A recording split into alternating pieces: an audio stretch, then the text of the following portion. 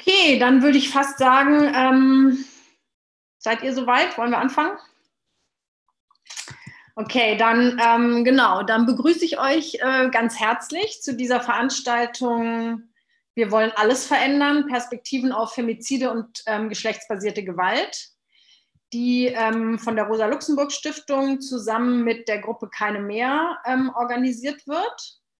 Ähm, für alle, die keine mehr vielleicht noch nicht kennen, ist, ist sozusagen die kleine Schwester der Ni Una Menos Bewegung in Deutschland, ähm, die sich 2017 äh, hier gegründet hat, um das Thema Femizide eben auch hier ähm, präsenter zu machen.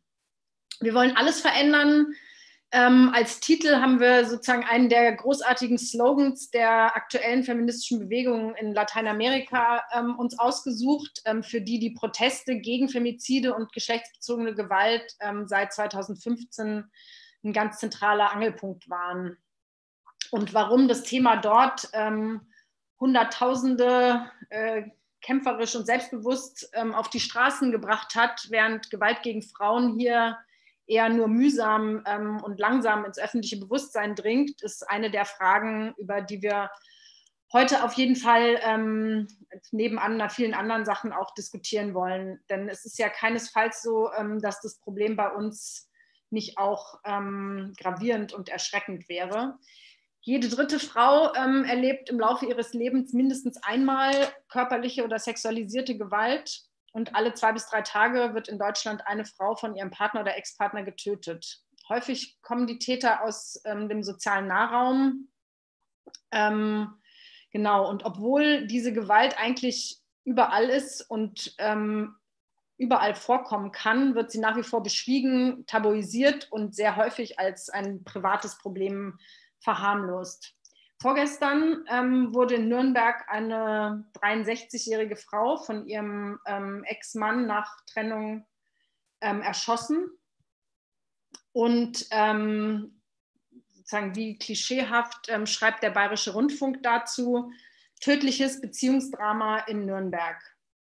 Und dann weiter, das Motiv der Tat vermutet die Polizei im privaten Bereich. Es gäbe keinen Hinweis auf einen terroristischen Hintergrund das scheint ähm, offenbar so eine Art Beruhigung zu sein oder ähm, so gemeint zu sein.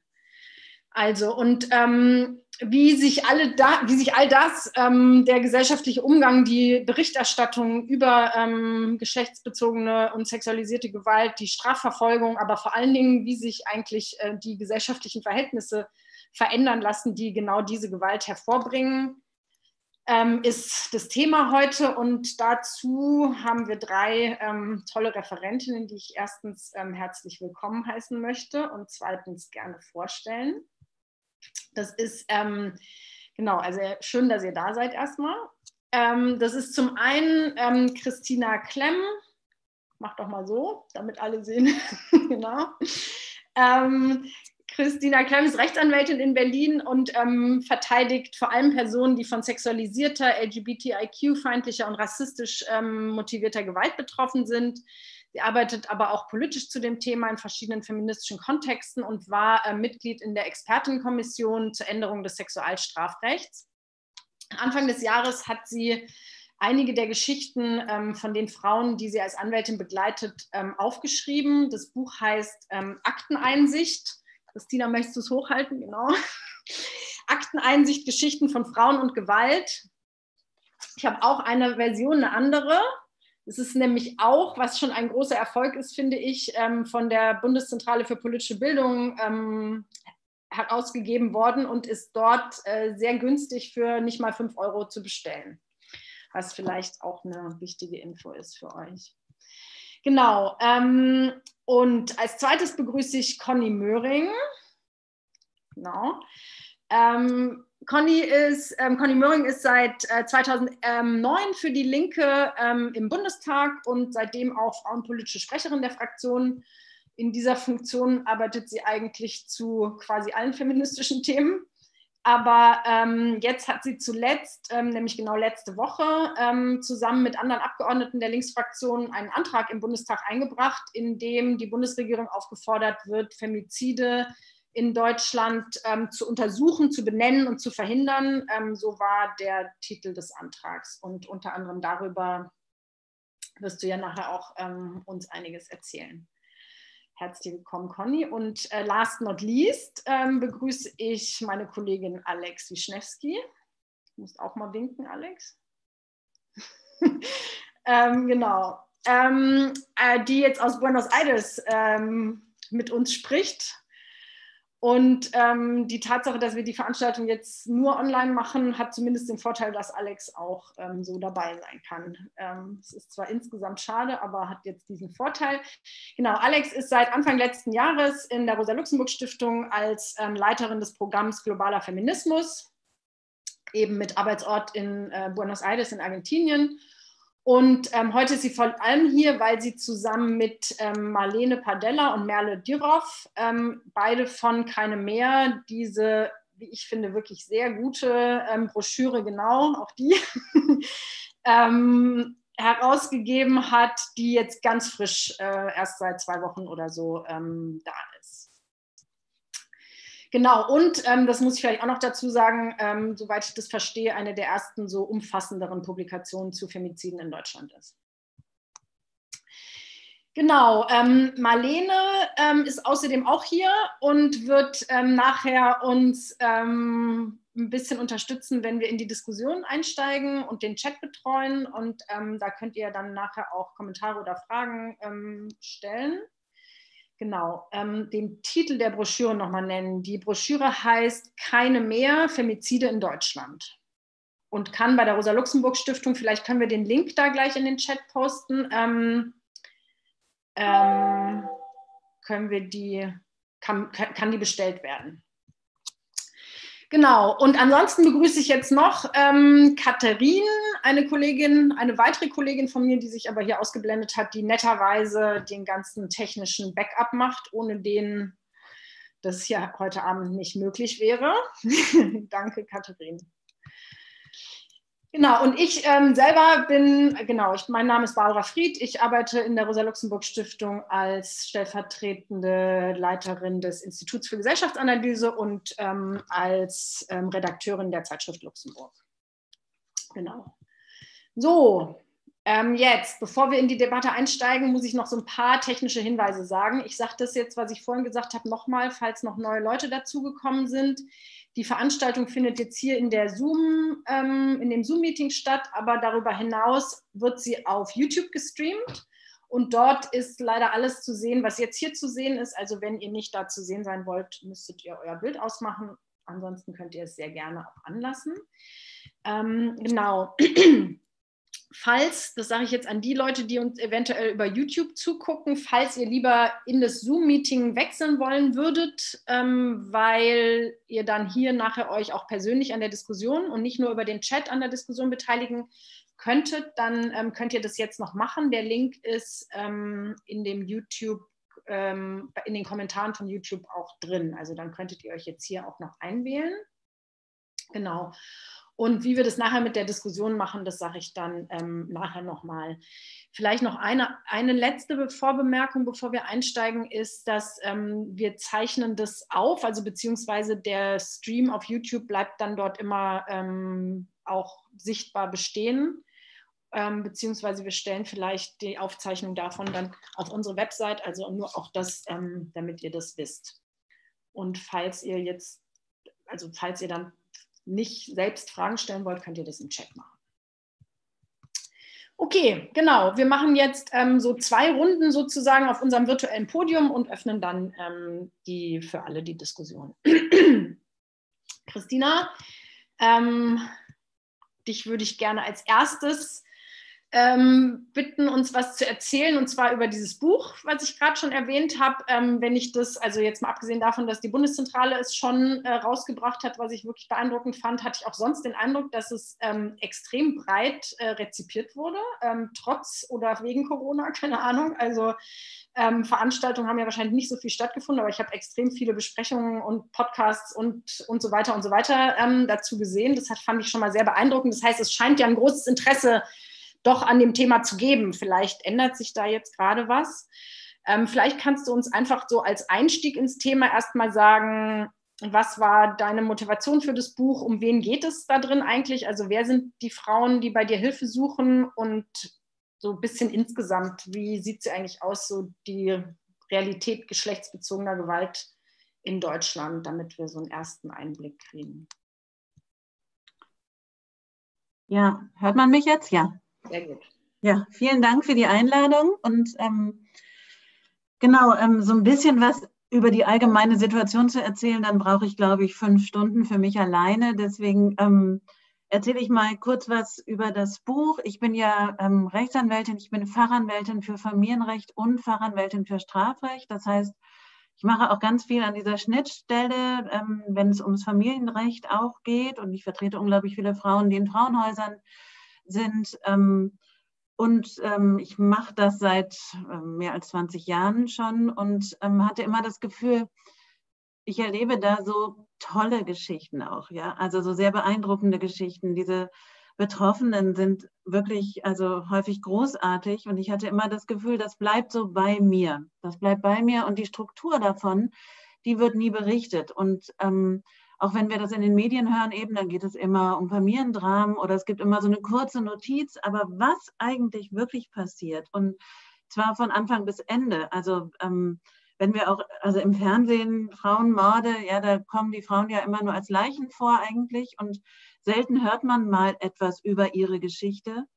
Und äh, mir ging es darum, und deswegen habe ich dieses Buch geschrieben, das sehr viel sichtbarer zu machen, den Betroffenen eine Stimme zu geben und auch in, ähm, also das zum einen auch zu erzählen, wie ist dann die justizielle Aufarbeitung dieses Geschehens und wie leben die Betroffenen weiter? Also wie geht es ihnen danach ähm, und äh, wie unterschiedlich ist das eben auch? Und ähm, ich habe ja eine Form gefunden für dieses Buch, das habe ich, da habe ich lange nachgesucht, indem ich eben immer diese Geschichten erzähle, die ja nicht echte Geschichten sind, sondern nachgebildet von vielen verschiedenen äh, Geschichten. Ähm, und die erzähle ich ähm, tatsächlich in einer erzählenden Form. Also es ist, glaube ich, auch relativ spannend, das zu lesen. Und dazwischen äh, schiebe ich ein tatsächlich juristische Bewertungen, gesellschaftliche Bewertungen, Zahlen, ähm, all das, um das zu dokumentieren. Ähm, worauf es mir auch ankam, ist, dass es nicht nur um Gewalt im sozialen Nahraum geht, sondern auch darum, dass Gewalt eben in allen verschiedenen Formen vorkommt, geschlechtsspezifische Gewalt. Und ähm, das ist vielleicht auch eines dieser Themen. Es heißt dann immer, jeden dritten Tag wird äh, oder zweiten bis dritten Tag in Deutschland wird eine Frau von ihrem Ex-Partner oder Partner getötet. Da sind ja noch nicht alle Femizide drin, sondern was wir haben, das Einzige, was wir bisher haben, ist eine Aufstellung der Frauen, die im sozialen Nahraum äh, getötet werden oder auch die Gewalt gegen die Frauen. Aber ansonsten haben wir sie überhaupt nicht aufgezählt. Und darauf kam es mir auch an, also zum einen die verschiedenen Bereiche. Also es geht in meinem Buch um, also da ist auch die Geschichte eines Femizids und über Partnerschaftsgewalt ähm, oder eine, eine Vergewaltigung in einer Beziehung. Aber es geht auch um Gewalt, geschlechtsspezifische Gewalt in politischen Auseinandersetzungen, es geht um eine Geschichte um Polizeigewalt, ähm, um eben das, das ganze Spektrum äh, abzudecken. Auch weil ich finde, es ist gerade in der politischen Auseinandersetzung unglaublich wichtig, das zu betonen im Moment, wie stark antifeministische ähm, Kräfte wirken und wie weit sie verbreitet sind. Wir haben vor ein paar Tagen, gab es ja die, ähm, diese Mitte-Studie, da hieß es, jeder vierte Mann in Deutschland hat ein gefestigtes antifeministisches äh, Weltbild. Ähm, also wie wichtig das ist, auch bei terroristischen Anschlägen im Moment. Und äh, genau, darum ging es mir und vor allem auch, weil ähm, ja das Ausmaß der geschlechtsspezifischen Gewalt so riesig ist, aber die Diskussion darum eben immer noch so gering. Und ähm, ich würde dir auch zustimmen, dass das Buch sehr äh, ja, rezipiert worden ist meine persönliche Wahrnehmung war auch eigentlich, dass äh, insgesamt, also häus sogenannte häusliche Gewalt in den letzten Monaten immer wieder Thema war, gerade im Zusammenhang äh, mit der Pandemie. Es gibt aber Studien dazu, die sagen, das war überhaupt nicht so, sondern ähm, tatsächlich haben eigentlich frauenspezifische Themen weiterhin abgenommen, auch in der Pandemie. Es gab da keine besonders große Aufmerksamkeit für. Und meine Befürchtung ist auch ein bisschen, dass wenn das Thema wieder weg ist, dass es dann heißt, na ja, wenn überhaupt, dann war das eben so ein Problem in der Corona-Zeit, aber ähm, das ist schon vorher oder diese neuen Zahlen, die wir jetzt gerade bekommen haben, das sind ja alles Zahlen, die wir hatten, also die äh, Zustände beschreiben vor den Ausgangsbeschränkungen. Und die sind so riesig. Wie es jetzt sein wird, wissen wir alle noch nicht. Okay, danke dir. Ähm, vielleicht bevor ähm, wir gleich zu ähm, Alex kommen, noch also klar kannst du jetzt nicht äh, in ein paar Minuten das gesamte, ähm, die gesamte Konstellation darlegen, aber ich würde es schon ähm, toll finden, wenn du vielleicht noch ein paar Sätze sagst zu, wer sind eigentlich die Frauen, also wo kommt es vor, wen betrifft es, gibt es da Unterschiede? Und vielleicht auch, wer sind eigentlich die Täter, wissen wir darüber was? Ähm, und sozusagen diese Frage, warum, warum wird darüber eigentlich nicht geredet? Also wir reden ja über verschiedenste Katastrophen ununterbrochen. Warum reden wir eigentlich darüber nicht? Hm. Also wir sind die Frauen, das sind Frauen aller Herkünfte, aller aus allen sozialen ähm, Herkünften. Das kann man gar nicht sagen. Ich glaube, es gibt, oder wir wissen, es gibt ähm, Frauen, die sind ganz aus besonders vulnerablen Gruppen. Das heißt, äh, die sind dann eben auch, die sind sowohl von Rassismus betroffen als auch von geschlechtsspezifischer Gewalt oder LGBTIQ-feindlich äh, Gewalt ist auch ähm, ganz massiv. Es gibt, äh, wir wissen, dass die Belastung von Frauen mit Behinderung zum Beispiel auch sehr viel größer ist als in der Durchschnittsbevölkerung. also es gibt da verschiedene vulnerable Gruppen, die ganz besonders betroffen sind. Über die Täter wissen wir eigentlich auch nur, dass es genau das Gleiche ist. Auch die kommen aus allen äh, Schichten, Herkünften, wie auch immer. Ähm, auch da kann man nicht sagen, man kann sagen, es gibt bestimmt, äh, also besonders äh, gefahrenträchtige Situationen. Das ist zum Beispiel im sozialen Nahraum, wenn ähm, die Frauen schwanger sind zum Beispiel oder wenn es kleine Kinder gibt. Es ist ähm, ganz besonders gefährlich im sozialen Nahraum, wenn sich eine Frau trennt ähm, da kommt es dann häufig zu eben dann auch den tödlichen ähm, Übergriffen. Dann äh, ist es auch häufig, häufig dann der Fall, wenn die Frau ihre Rolle verlässt. Also wenn sie ähm, beginnt irgendwie sich zu emanzipieren, äh, so oder wenn sie einen Karrieresprung macht, auch dann ist es ganz besonders gefährlich. Ähm, und es ist in politischen Auseinandersetzungen, also wenn wir auch zum Beispiel über digitale Gewalt reden, da ist es ganz massiv, ist die geschlechtsspezifische Gewalt gegen alle Frauen, die sich politisch positionieren oder die gar als Feministinnen angesehen werden. Also da ist die Gewalt ganz, ganz massiv. Da, ähm, so, warum darüber so wenig ge gesprochen wird, ich denke, ähm, das geht eben, zieht sich weit hinein. Auch hier werden wir heute wahrscheinlich feststellen, dass dass es hauptsächlich ähm, Menschen, die als Frauen gelesen werden, hier teilnehmen. Es ist immer noch kein Thema, dass, äh, obwohl man ja sagen muss, es ist Gewalt gegen Frauen ist vor allem erstmal ein Männerproblem, ähm, wird es aber da überhaupt nicht so gesehen und das ist weit bis in linke ähm, Kreise hinein so, dass sich niemand dafür einsetzt oder dagegen einsetzt. Ähm, auch das ist ein riesiges Problem. Es ist immer noch der sogenannte Nebenwiderspruch. Ähm, erstaunlicherweise ähm, oder was sehr gefährlich ist, ist, dass sich ja Rechte eine Zeit lang quasi auf die Fahnen geschrieben haben, sie würden geschlechtsspezifische Gewalt verhindern. Die sind dann mit so Bildern von verletzten Frauen durch die Straßen gezogen. Da ging es aber natürlich immer nur um die weiße deutsche Frau, die es zu retten gibt vor den fremden Außen. Das ist überhaupt nicht das Problem. Das Problem ist eben die ganz strukturelle, überall ähm, stattfindende Gewalt inmitten dieser Gesellschaft. Ja, du hast in einem ähm, Interview, was ich gelesen habe, hast du, glaube ich, gesagt, ähm, es, jede Frau kennt mindestens eine andere Frau, die ähm, geschlechtsbezogene und sexualisierte Gewalt ähm, erlebt hat, aber kein Mann kennt einen anderen Mann, der sie ausgeübt hat. Das fand ich ähm, auch echt ähm, irgendwie eine eindrückliche ähm, Beschreibung. Aber vielleicht kannst du auch noch ein, zwei letzte Sätze so zu der Datenlage sagen, die ja sehr schlecht ist insgesamt. Ähm, und wie sieht es denn eigentlich, also wie sieht es denn aus? Also insgesamt, wie ist die Datenlage und dann, ähm, wie sieht es denn aus mit Gewalt gegen speziell Transfrauen und ähm, nicht-binäre Personen? Da, die sind ja in den Daten, die wir haben, glaube ich, gar nicht eingeschlossen, oder? Nein, also was man sagen muss, ist, die Datenlage ist insgesamt sehr schlecht. Es gibt immer einmal im Jahr, immerhin, ja auch noch nicht so lange, die Zahlen des BKA, die über Partnerschaftsgewalt Auskunft geben. Aber wie gesagt, da geht es nur um Gewalt im sozialen Nahraum. Da geht es nicht um geschlechtsspezifische Gewalt. Die sind wahnsinnig hoch. Ich glaube, jetzt von 2019 waren es 179.000 Fälle oder so. Also ich glaube, wenn man das runterrechnet, war es alle 40 Minuten wird eine ähm, Person von ihrem Partner oder Partnerin, das geht ja dann in beide Richtungen, ähm, äh, gibt es Gewalt gegen äh, die Person. Man kann sagen, irgendwie, ich glaube, 82 Prozent der Betroffenen sind Frauen. Ähm, es gibt meines Erachtens keinerlei Erkenntnisse, also das ist, und das muss man mal sagen, das ist das Hellfeld. Ja? Also das sind die Personen, die Anzeigen erstatten. So, es ist überhaupt nicht die, das Dunkelfeld. Ähm, darüber wissen wir nichts. Ich glaube, Frau Giffey hat gesagt, nächstes Jahr soll es eine große Studie, Studie dazu geben. Das ist auch allerhöchste Zeit. Wir haben die letzten Zahlen, äh, die sind schon mehr als zehn Jahre alt, äh, die letzte Dunkelfelduntersuchung. Ähm, und äh, das äh, muss auch schon im Hinblick auf die Istanbul-Konvention brauchen wir Zahlen. Das äh, ist also unglaublich eigentlich, dass es diese Zahlen nicht gibt.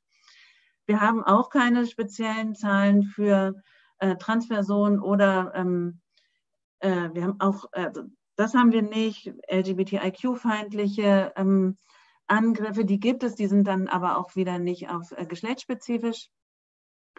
Ähm, und äh, also wir haben, die Datenlage ist katastrophal in Deutschland, das muss man sagen.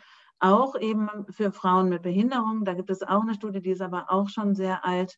Also das muss auf jeden Fall ähm, her, dass wir viel mehr wissen darüber und wir wissen auch dann eben auch im Umkehrschluss sehr wenig. Letztlich haben wir gesicherte Daten über die Täter. Okay, dann danke ich dir erstmal dafür. Alex, dann äh, würden wir jetzt mit eurer Broschüre und ähm, sozusagen spezifischer dem, ähm, dem Thema Femizide ähm, weitermachen. Ähm, wir haben also genau, erstens hatte es ist ja auch so, dass die Broschüre schon ziemlich ähm, positives Feedback gekriegt hat, obwohl sie jetzt erst ähm, so kurz in der Welt ist. Ähm, sag, äh, sag, uns doch ein bisschen was, ähm, warum es überhaupt, also warum ihr das gemacht habt und warum du äh, der Meinung bist, äh, dass es zentral ist, über dieses Thema Femizide auch hierzulande zu sprechen Vielleicht kurz, ähm, wo der Begriff herkommt, also was Femizid eigentlich ganz genau heißt. Ähm, vielleicht kannst du auch kurz was sagen, Femizid, Feminizid, ähm, nur kurz. Und dann ähm, fände ich es noch gut, wenn du was sagst äh, über die Frage, ob es nicht eigentlich ähm, ein Problem ist, wenn man jetzt auf sozusagen die Tötung von Frauen so sehr fokussiert, obwohl doch das Phänomen so viel breiter ist. Ähm, genau. Ob man das nicht irgendwie dann eher aus dem Bild Okay, ich ähm, glaube, ich fange von hinten an oder ähm, erstmal damit, äh, was Femizid überhaupt ist, weil dann glaube ich, äh, daran kann ich erklären, warum wir das Ganze machen. Ähm, genau, also Femizide, die breiteste, breitest geteilte Definition, würde ich sagen, ist die Tötung von Frauen durch Männer aus einem tiefliegenden Frauenhass heraus. Frauenhass aber verstanden nicht als äh, sozusagen interpersonelle Beziehung, ähm, die sich auf einzelne Personen richtet, sondern tatsächlich als Struktur, die dann auch teilweise überhaupt nicht so offensichtlich rüberkommt, die wir jetzt im Alltag wahrscheinlich gar nicht als Frauenhass bezeichnen würden. Also äh, die eher ähm, aufrechterhalten wird und äh, wiedergespiegelt wird auch im hierarchischen Geschlechterverhältnis. Also alles, was äh, man so auch so als äh, patriarchale Struktur oder Patriarchat kennt. Dazu gehören aber tatsächlich alle möglichen Formen von Abwertung, die jetzt vielleicht nicht mit körperlicher, psychischer Gewalt äh, zusammenhängen, sondern die auch mit einer schwächeren Position von Frauen äh, in der Gesellschaft ähm, zusammenhängen. Das heißt also, Femizide sind jetzt nicht jede Tötung von, äh, von Frauen, äh, sondern nur eben jene, die zurückzuführen sind auf oder die nur verstanden werden können in dieser Form von äh, hierarchischem Geschlechterverhältnis. Das heißt aber auch sozusagen, dass, ähm, so wie es Christina jetzt auch gerade schon gesagt hat, äh, wir arbeiten jetzt immer mit den Zahlen zu Tötungen in Partnerschaften oder durch Ex-Partner. Wir können aber eigentlich gar nicht sagen, ob das alles Femizide sind oder dass äh, das die ganze Zahl an Femiziden ist, die in Deutschland stattfindet. Das ist einfach tatsächlich die einzige Zahl, die uns äh, verfügbar ist. Und das waren ähm, im letzten Jahr waren das äh, 117 Frauen, ähm, die getötet worden sind äh, durch ihren Partner oder Ex-Partner. Ähm, und es waren weitere 191 äh, Frauen, die dem Versuch entkommen sind. Und auch da wiederholt sich die ganze, das ganze, die ganze Problematik mit, ähm, der, äh, der, mit den Daten, die Christina auch schon genannt hat. Also zum einen, es ist ein riesenkrasses Dunkelfeld, vor allem äh, bei der Frage von versuchten Tötungen. Die werden, äh, es ist ja eine Polizeistatistik, das heißt, die werden gezählt, welche zur Anzeige kommen oder welche aufgenommen werden von der Polizei. Das heißt, ganz, ganz viele Tötungen, die Frauenhäuser sagen zum Beispiel, sie würden alles mitzählen, was Angriffe gegen den Hals sind, also wo, wo sozusagen so Würgemomente äh, stattfinden, wären versuchte Tötungen. Oder häufig, die, da kommen ganz, ganz, ganz viele überhaupt nicht äh, in die Statistik. Das heißt, äh, wir wissen tatsächlich einfach äh, ganz wenig, wie groß dieses Problem tatsächlich ist. Ähm, und auch äh, es wird nach Personenstand ähm, getrennt. Das heißt tatsächlich, wie, wie ihr auch schon äh, besprochen habt, Transfemizide, ähm, also sozusagen, wo ähm, Transfrauen angegriffen werden, ähm, wo natürlich teilweise auch sozusagen ähm, noch eine andere Form von Transfeindlichkeit mit reinkommt, aber eben auch eine Abwertung von Weiblichkeit, eben dieser Frauenhass, von dem ich gesprochen habe. Die sind auch aus dieser ähm, dieser Statistik, die die Polizei bereitstellt, einfach überhaupt nicht abzulesen. Ähm, warum wir es wichtig finden, darüber ähm, zu sprechen, ähm, ist, weil diese Rückbindung auf die Struktur eigentlich äh, die Bedeutung aus zwei, von zwei Seiten äh, deutlich macht. Also zum einen heißt es, wenn wir Femizide tatsächlich ähm, bekämpfen wollen, wenn wir dafür arbeiten wollen, dass es die nicht mehr gibt, dann müssen wir an diesen Strukturen äh, anfangen. Dann müssen wir ganz, ganz viel weit vorne anfangen als bei der tatsächlichen Tötung. Auch die wollen wir natürlich verhindern, aber wir werden sozusagen in der jetzigen Gesellschaftsform, die wir haben, werden wir nicht zu einem Moment kommen, in dem es keine Frauenmorde gibt oder Femizide. Und sozusagen das ist äh, das ganz Wichtige, wenn man sich diese, diese Debatten darum anguckt, ähm, was wir daraus lernen. Und aber auch von der anderen Seite sagt uns das ähm, tatsächlich, dass wir an der Existenz von Femiziden und an dem Ausmaß auch von Femiziden auch merken, wie gewaltsam eigentlich das System ist, in dem wir leben. Dass es nicht darum geht, dass irgendwie sozusagen wir Feminismus machen, um bestimmte Leute in Führungspositionen zu bringen oder so, sondern dass es tatsächlich auch wir um einen gleichberechtigten Zugang zu Arbeit und Absicherung äh, kämpfen, weil nämlich sozusagen das alles Ausdrucksformen sind, die tatsächlich auch damit zusammenhängen, dass Frauen sterben. Das heißt sozusagen, es geht auch am, am, am, an der Existenz von Femiziden zu erkennen, sozusagen, dass es nicht um irgendwelche Ungerechtigkeiten geht, sondern es geht um Fragen von Leben und Tod. Und ich finde, das muss man tatsächlich auch in der Zugespitztheit äh, ab und zu mal, äh, zu mal sagen. Ähm, und sozusagen die die, die Gewalt hat in der Form, und da meine ich jetzt aber auch verschiedene Formen von Gewalt, nicht nur Tötung, äh, verschiedene Formen geschlechtsspezifischer Gewalt, hat eben sozusagen die Rolle in diesem System, ähm, diese Verhältnisse abzusichern, sind sozusagen ein Ventil oder eine Form, ähm, daran wieder äh, daran, diese Struktur zu stärken oder ihre Grenzen deutlich zu machen, wenn keine andere Form mehr bereitsteht. Also wenn sozusagen Personen ähm, ihnen vorkommen, dass sie sozusagen die Kontrolle darüber verlieren, ähm, dieses Verhältnis, in diesem Verhältnis. Also Christina hat schon gesagt, viele, viele äh, Gewalt und auch Tötungen finden statt, wenn äh, Frauen sich trennen wollen, also wenn sie sozusagen emanz sich emanzipieren wollen, einen eigenen Willen zum Ausdruck bringen. Es findet aber auch im politischen Raum statt, wenn Frauen ihre Stimme erheben, wenn sozusagen gibt auch einzelne Andeutungen, dass es mit allgemeiner Verstärkung von feministischen Bewegungen zu tun hat. Also sozusagen nicht nur auf der subjektiven Ebene oder individuellen, wenn eine Frau sich emanzipiert, sondern auch wenn insgesamt sozusagen äh, feministische Bewegungen oder äh, Positionen von Frauen in der Gesellschaft sich verbessern, hat es oft sozusagen so ein Backlash an Gewalt. Ähm, und daran wird irgendwie dieses dieser Zusammenhang deutlich, aber das heißt nicht nur sozusagen vor ähm, Emanzipation von, von Frauen, sondern auch auf der anderen Seite ein Unsicherwerden von einer männlichen Vormachtstellung. Also es gibt zum Beispiel auch Forschungen, die eben sagen, in Wirtschaftskrisen, wenn, äh, wenn Menschen, äh, wenn Männer ihre, ihre ökonomische Situation, wenn ihre ökonomische Situation angegriffen wird, dann haben sie auch Gewalt gegen Frauen als Ventil, um sozusagen sich in dieser, dieser Männlichkeit, dieser toxischen Männlichkeit, die wir, äh, die wir haben, wieder aufzurichten.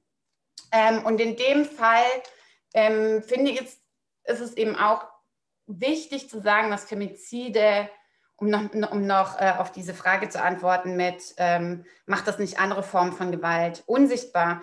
Es ist ganz, ganz arg wichtig, Femizide als extremen Ausdruck zu sehen, genauso wie äh, von, von geschlechtsspezifischer Gewalt. Das heißt sozusagen, diese verschiedenen Formen gehören zusammen. Und es ist auch wichtig, wenn wir sozusagen Femizide äh, bekämpfen wollen, dann müssen wir auch schon gegen äh, Catcalling, also gegen Sprüche und hinterherrufen und, äh, auf der Straße und sexuelle Belästigung vorgehen. Und ähm, wichtig an diesem Moment und diese Beziehung, die deutlich zu machen, das ist, fände ich tatsächlich wichtig, damit man nicht auch in so ein Spe also äh, Spektakel und die schlimmsten Fälle rauspicken äh, gehen. Diese Beziehung ist mir total wichtig äh, zu betonen, aber eben deutlich zu machen, dass auch dieses Extrem stattfindet. Okay, super, das war jetzt schon sehr, sehr viel. Danke dir. Dann würde ich jetzt gleich ähm, mit Conny weitermachen. Ähm, Conny, genau, wir haben, ich habe ja vorhin schon kurz erwähnt, ihr habt jetzt gerade diesen Antrag ähm, eingebracht. Darüber reden wir dann in der nächsten Runde. Ähm, würde ich dich dazu gerne noch mal ein bisschen fragen, was ihr euch da eigentlich, ähm, was, was ihr da beantragt habt. Aber vielleicht kannst du erst noch mal sagen, also, dass die Zahlen schlecht sind, haben wir jetzt schon gehört, aber vielleicht noch ein paar mehr Worte dazu, wie eigentlich ähm, die Bundesregierung ähm, mit dem Thema umgeht. Ähm, also, was ist eigentlich die Haltung also der Bundesregierung, aber natürlich auch ähm, sozusagen des Gesetzgebers ähm, dazu. Ähm, und also sozusagen insgesamt zu geschlechtsbezogener Gewalt, aber speziell zu Femiziden und ähm, vielleicht auch so genau, wie sich das in den letzten Jahren verändert hat. Es gab ja auch ähm, ein paar Gesetzesänderungen, ähm, genau. Und was da aus deiner Sicht äh, vielleicht sozusagen die drängendsten äh, Handlungsnotwendigkeiten wären, als jemand, die da sozusagen in dem gesetzgebenden Organ sitzt. Ja, vielen Dank. Ja, ich versuche das mal möglichst ähm, nachvollziehbar darzustellen. Ich glaube, es ist ganz gut, tatsächlich äh, ein paar Jahre zurückzugucken. Du hattest ja eingangs erwähnt, dass ich jetzt mittlerweile seit 2009 in dem Feld auch konkret im Bundestag arbeite. Und äh, man kann schon sagen, es gibt so eine leichte Schneckentempo-Bewegung äh, der jeweiligen ähm, Regierung, ähm, Gewalt gegen Frauen oder so, wie Sie es nennen, häuslicher Gewalt oder partnerschaftlicher Gewalt was entgegenzusetzen. Seit 2009 hatten wir vorwiegend die Diskussion äh, um die Finanzierung der Frauenhäuser, um eine bundeseinheitliche Finanzierung. Da war schon klar, äh, dass es einen unglaublich großen Mangel gibt, viel zu wenig Frauenhausplätze und ein äh, dramatisch unterfinanziertes Hilfesystem. Ähm, ich sage gleich dazu, da hat sich nicht viel dran geändert. Wir haben immer noch eine Situation, dass 14.000 bis 15.000 Frauenhausplätze mindestens äh, fehlen. Da ist dann die Frage der Qualität und einer entsprechenden guten Bezahlung auch für die Beschäftigten überhaupt noch gar nicht mit, mitgedacht. Und auch das Hilfesystem, zu dem ja mehr gehört, also auch ein ähm, ausfinanziertes Beratungsnetz und so weiter, ähm, da hat sich nicht viel getan. Die Bundesregierung hat schon 2009 und ich war wahrscheinlich auch vorher ähm, eigentlich immer die Debatte Richtung Länder verschoben und das äh, als kommunale und Länderaufgabe ähm, gekennzeichnet. Und dann weiß man natürlich, äh, dass die sowieso finanzknappen Kommunen ähm, da wenig Chancen haben, da grundlegend was äh, dran zu ändern. Es kam dann, äh, vielleicht erinnern das auch viele noch, Frau Schröder als Familienministerin und Frauenministerin, ähm, die dann das Hilfetelefon als ähm, wesentlichen Meilenstein verkauft, was sicherlich auch eine gute Angelegenheit ist, weil über das Hilfetelefon halt viele betroffene Frauen oder auch äh, Menschen, die Gewalt irgendwie wahrnehmen äh, und sich äh, Unterstützung oder Rat holen wollen, für die ist das sicherlich eine große Hilfe. Und erst im letzten Jahr war es dann äh, eigentlich so weit, dass zumindest die Bundesregierung im Haushalt äh, mal ein paar Mittel bereitgestellt haben, aber äh, vor allem für Investitionskosten, bauliche Maßnahmen und für technische Innovationen. Ähm, es ist immer noch nicht bundeseinheitlich geregelt, wie zum Beispiel das Hilfesystem überlebt. Und ähm, die Bundesregierung schiebt es immer noch meist in die Länder. Ähm, Irgendjemand von euch erwähnte auch die Studie, die jetzt auf den Weg gebracht wird. Also das ist ein weiterer Punkt, der jetzt gemacht wird. Aber äh, man kann, glaube ich, im Großen und Ganzen sagen, das sind natürlich durchaus wichtige Schritte, aber bei weitem nicht genug. Und auffällig ist eben dabei, dass die Bundesregierung nur die sogenannte partnerschaftliche Gewalt oder häusliche Gewalt dabei äh, vorwiegend in den Blick nimmt. Wir haben dann vor, ich weiß gar nicht, Alex weiß es wahrscheinlich sogar besser, ähm, angefangen mit äh, Fragen, kleinen Anfragen, die Bundesregierung mal auf den, äh, diesen Weg zu bringen, mal zu überlegen, was, äh, ob es eigentlich bei uns zu Lande auch Femizide gibt und wie sie ihre Haltung dazu irgendwie entwickelt. Und äh, ich habe zwei kleine Anfragen dazu gestellt. Ähm, nach diesen kleinen Anfragen ähm, war die Bundesregierung weder bereit noch irgendwie ja, wollte sie reflektieren, ob es nicht sinnvoll ist, auch äh, sich der Definition von Femiziden anzuschließen. Also wollte sich auch nicht der gängigen Definition der WHO oder der Vereinten Nationen anschließen, verweigern das äh, schlicht und ergreifend. Äh, Sage ich auch gleich noch was zu, warum das äh, vielleicht so ist. Ähm, dann hat die, äh, die, Bundesrepublik Deutschland im Jahr 2011 die Istanbul-Konvention unterzeichnet und erst 2017 ratifiziert. Ähm, da, das war natürlich auch ein Schritt in der Bekämpfung, und Prävention von Gewalt. Ich will mal noch mal zitieren, was eigentlich in der Zweckbestimmung dieser Istanbul-Konvention steht. Ähm, da steht drin, Zweck des Übereinkommens ist es, Frauen vor allen Formen der Gewalt zu schützen und Gewalt gegen Frauen und häusliche Gewalt zu verhüten, zu verfolgen und zu beseitigen. Und nun kann man so eine gute Konvention äh, beschließen und auch ratifizieren. Das heißt aber eben noch lange nicht, dass sie auch umgesetzt wird. Äh, das ist auch nach wie vor eines der großen Probleme. Mittlerweile gibt es zumindest eine Monitoringstelle, die von der Bundesregierung finanziert wird, ähm, die jetzt neu eingerichtet wird.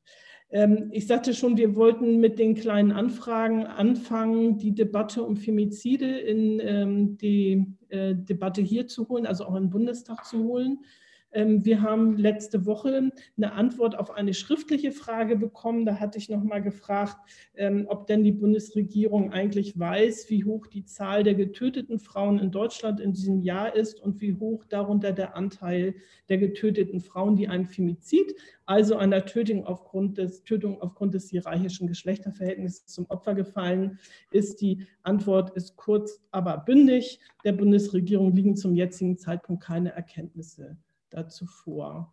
Das macht so ein bisschen deutlich, ähm, dass tatsächlich die Bundesregierung und auch, äh, wie die Debatte letzte Woche gezeigt hat im Bundestag, doch ein erheblicher Teil zumindest der Koalition, aber auch, ja, ich würde schon sagen, des gesamten Hauses ähm, nicht wirklich verstanden hat, worum es bei Femiziden geht oder wahrscheinlich hat es sogar ein Teil verstanden und äh, will sich ganz bewusst dieser Definition nicht anschließen oder will keine eigene Definition aufstellen. Ich habe immer hin und überlegt, das ist ja eigentlich ist es nicht teuer, ne, so eine Definition irgendwie festzulegen, aber es ist natürlich sehr einfach. Ähm, wenn man etwas nicht definiert, dann muss man natürlich auch nicht hingucken und dann muss man natürlich auch keine Maßnahmen entwickeln, um dagegen vorzugehen. Was aber, glaube ich, ganz entscheidend ist, und was für uns auch ein Grund war, warum wir das Thema Femizide jetzt auch ganz bewusst in den Bundestag gebracht haben, ist ein Punkt, den Alex eben erwähnt hat. Äh, an der Debatte oder an der Diskussion um Femizide wird natürlich dies Gewalt, ähm, das, ja, das gewalttätige System oder das, das, die Gewalt in den Geschlechterverhältnissen, die in den Geschlechterverhältnissen begründet ist, sehr deutlich. Und ähm, Christina hat zu Beginn gesagt, dass wir ähm, eine Zunahme antifeministischer äh, Kräfte haben. Ich teile das.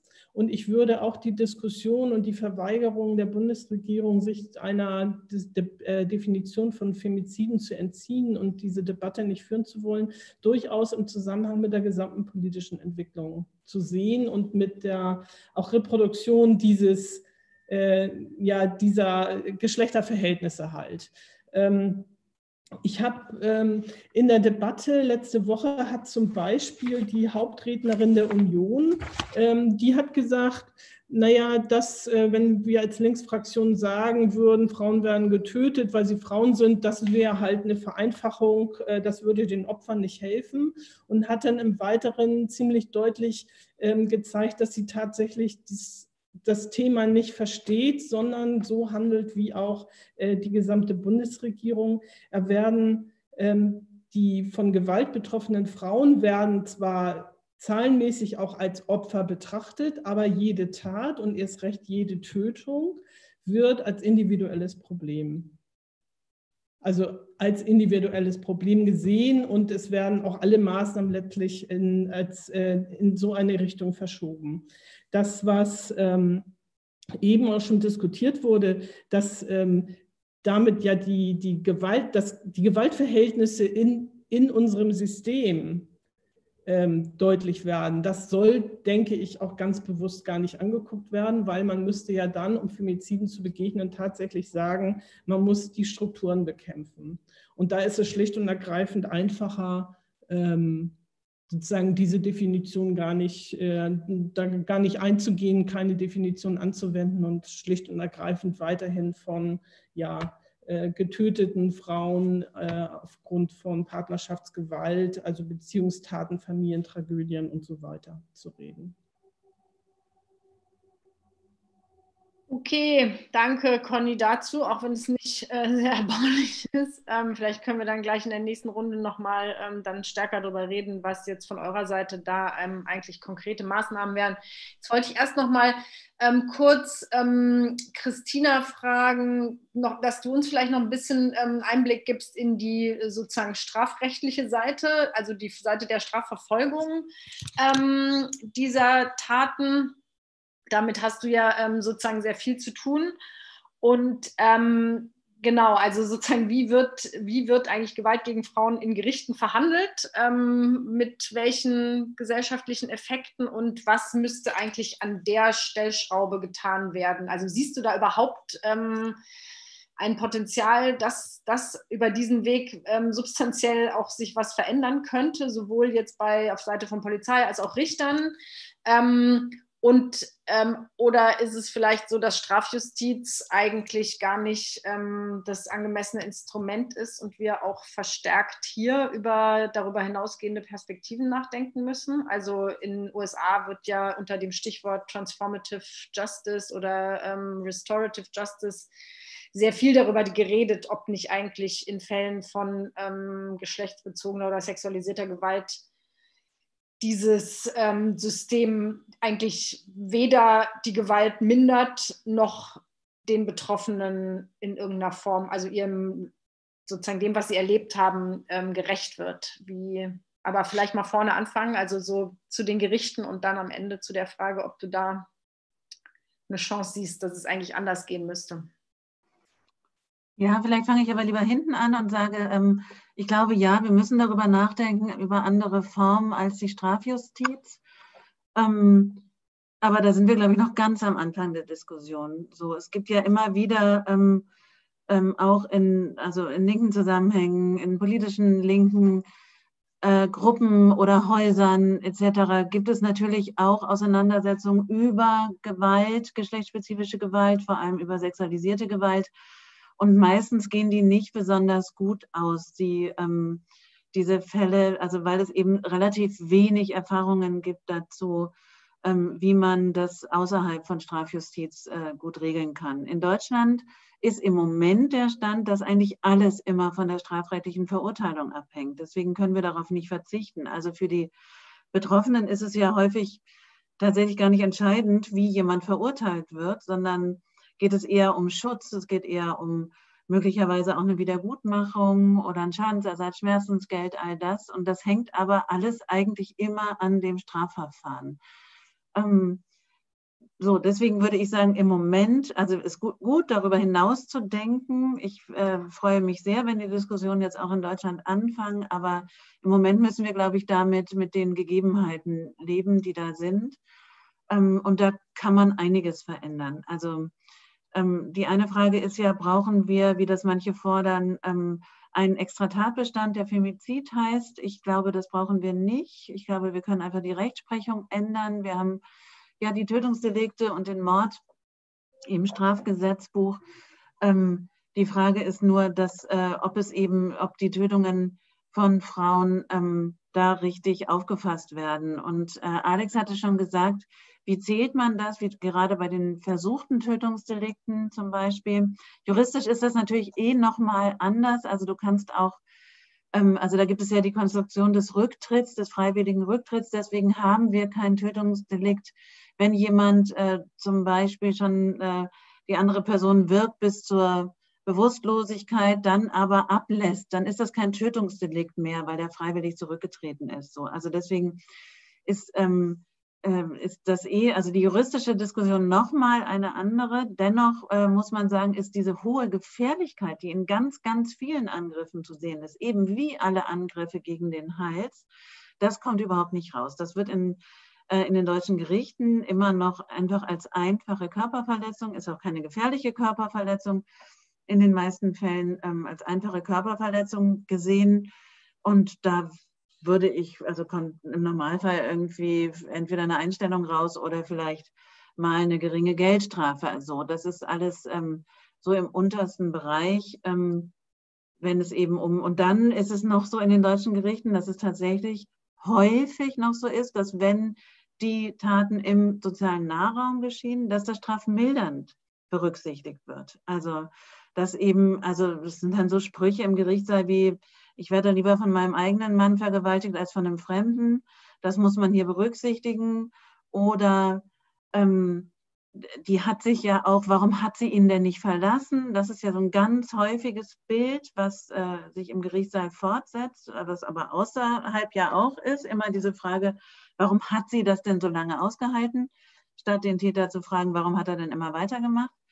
Ähm, oder es gibt eben, also es gibt unglaublich viele Klischees, Mythen, die sich auch im Gerichtssaal fortsetzen, ja, so wie in der Gesamtgesellschaft auch. Also es ist erstmal so, dass man den Frauen nicht glaubt. Vielleicht das ist also so eine Grundvoraussetzung. Die hätte irgendwelche Gründe, um das äh, zu erfinden ganz anders, als wenn ich irgendwie, ein, weiß ich nicht was, also wenn ich, äh, wenn jemand, äh, ein Polizeibeamter behauptet, dass er angegriffen worden ist, dem glaubt man sofort. Die Frau aber, die sagt, äh, ich bin hier äh, vergewaltigt worden, da muss man großen Zweifel haben. Und ähm, dann äh, gibt es eben auch bestimmte Mythen, wie hat sich eine Frau zu verhalten, wenn sie Opfer von einer Straftat geworden ist. Also am besten zeigt sie sofort an, ähm, hat selbst dann, also das beste Opfer hat selbst überhaupt gar keine Interessen in so einem Strafverfahren, ähm, hat auch ähm, keinerlei ähm, Belastungseifer, sondern ist immer objektiv, kann irgendwie diese Tat äh, auch Jahre später noch ähm, genauso abrufen, wie sie das einmal schon ausgesagt hat, etc. etc. So, das ähm, kann man, also es gibt da unglaublich viele, ich kann das jetzt gar nicht alles oder auch nicht anreißen, was ich sagen kann, ist, wir brauchen unbedingt Fortbildungen. Das haben wir im Moment nicht. Wir haben keine Fortbildungsverpflichtung für Richter und Richterinnen. Ähm, es gibt ganz wunderbare Richter und Richterinnen, die das wirklich auch gut können, die auch gut Zeuginnen befragen können, auch bei schwersten Angriffen, auch bei sexualisierter Gewalt.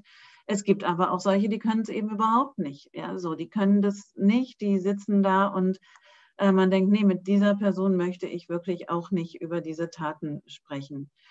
Ähm, ein riesiges Problem im Moment in der Strafjustiz ist, dass es keine Kapazitäten sind.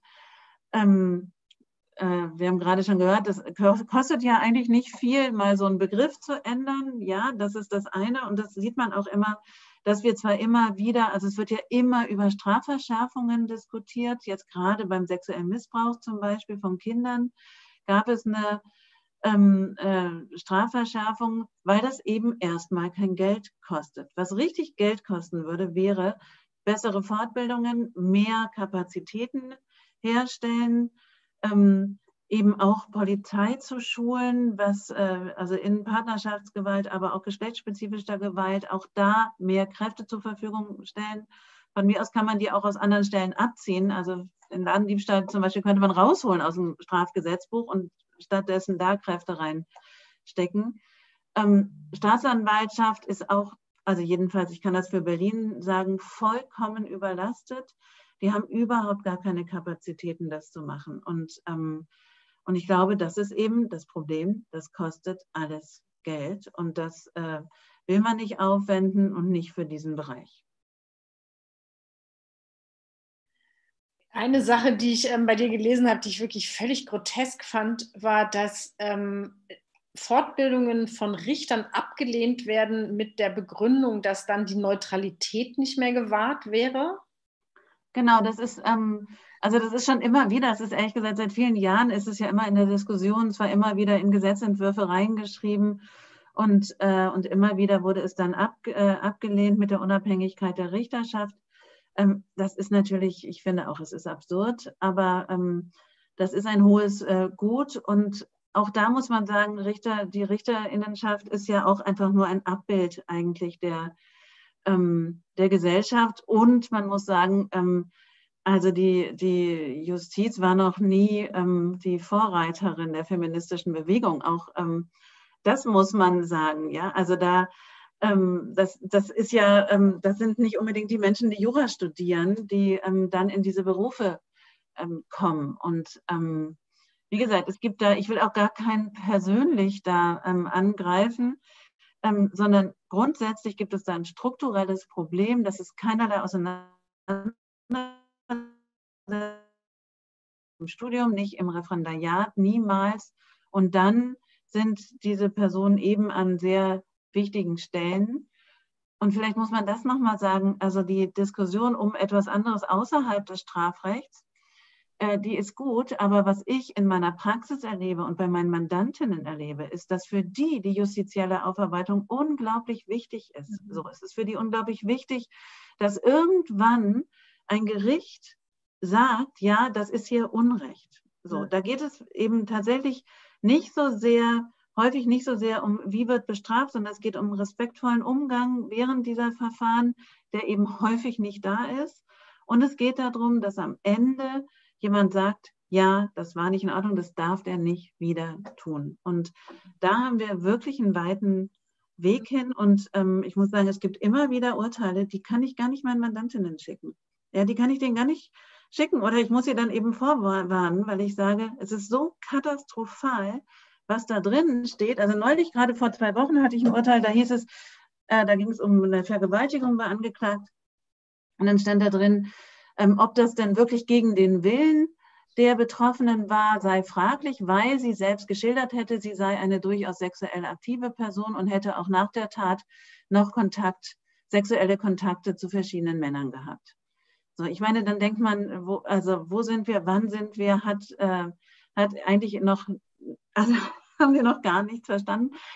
So, aber ähm, das ist dann so, so beschimpfend oder so verächtlich den Geschädigten gegenüber, dass man es wirklich kaum aushalten kann. Ja, es ist tatsächlich schwer auszuhalten, die ganze Sache, finde ich. Ähm, ich fand bei diesen Richtern hat das, also diesen Punkt, der hat mich irgendwie beschäftigt, weil ich so grotesk finde, dass man quasi sozusagen das patriarchale gesellschaftliche Bewusstsein wird sozusagen erhoben zu dem Moment, was dann am objektivsten Recht spricht. Ich meine, das muss man sich erst mal vorstellen. Ja, das finde ich tatsächlich ähm, unglaublich. Aber vielleicht können wir ja nachher über diese Frage oder Conny, genau, jetzt wollte ich eigentlich äh, zu dir und eurem Antrag ähm, kommen, was ihr eigentlich genau beantragt habt, was eure Vorschläge sind, aber vielleicht auch, was jetzt jenseits des ähm, konkreten Antrags, den ihr da gestellt habt, ähm, eigentlich eure ähm, Perspektiven sind und wo ihr sozusagen Chancen auf ähm, Veränderung seht. Und vielleicht kannst ja auch du kurz ähm, was dazu sagen, ob du eigentlich denkst, dass ähm, diese Frage, ob man jenseits der Rechtsprechung ähm, andere Umgangsformen ähm, noch bräuchte, die in so eine Richtung Restorative Justice gehen. Also ob ihr sowas diskutiert, ob, ob das auch ein Thema für euch ist.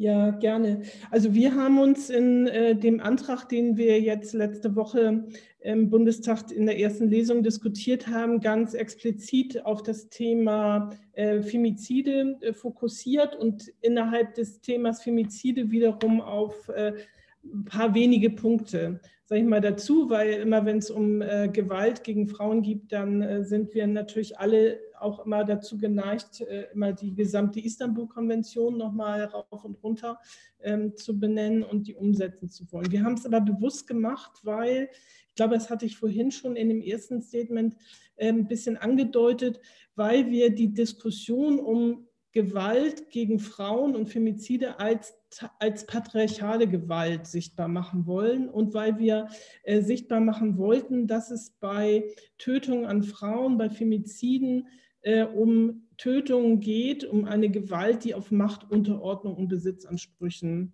basiert, also, ne, also eine geschlechterbasierte äh, Gewalt.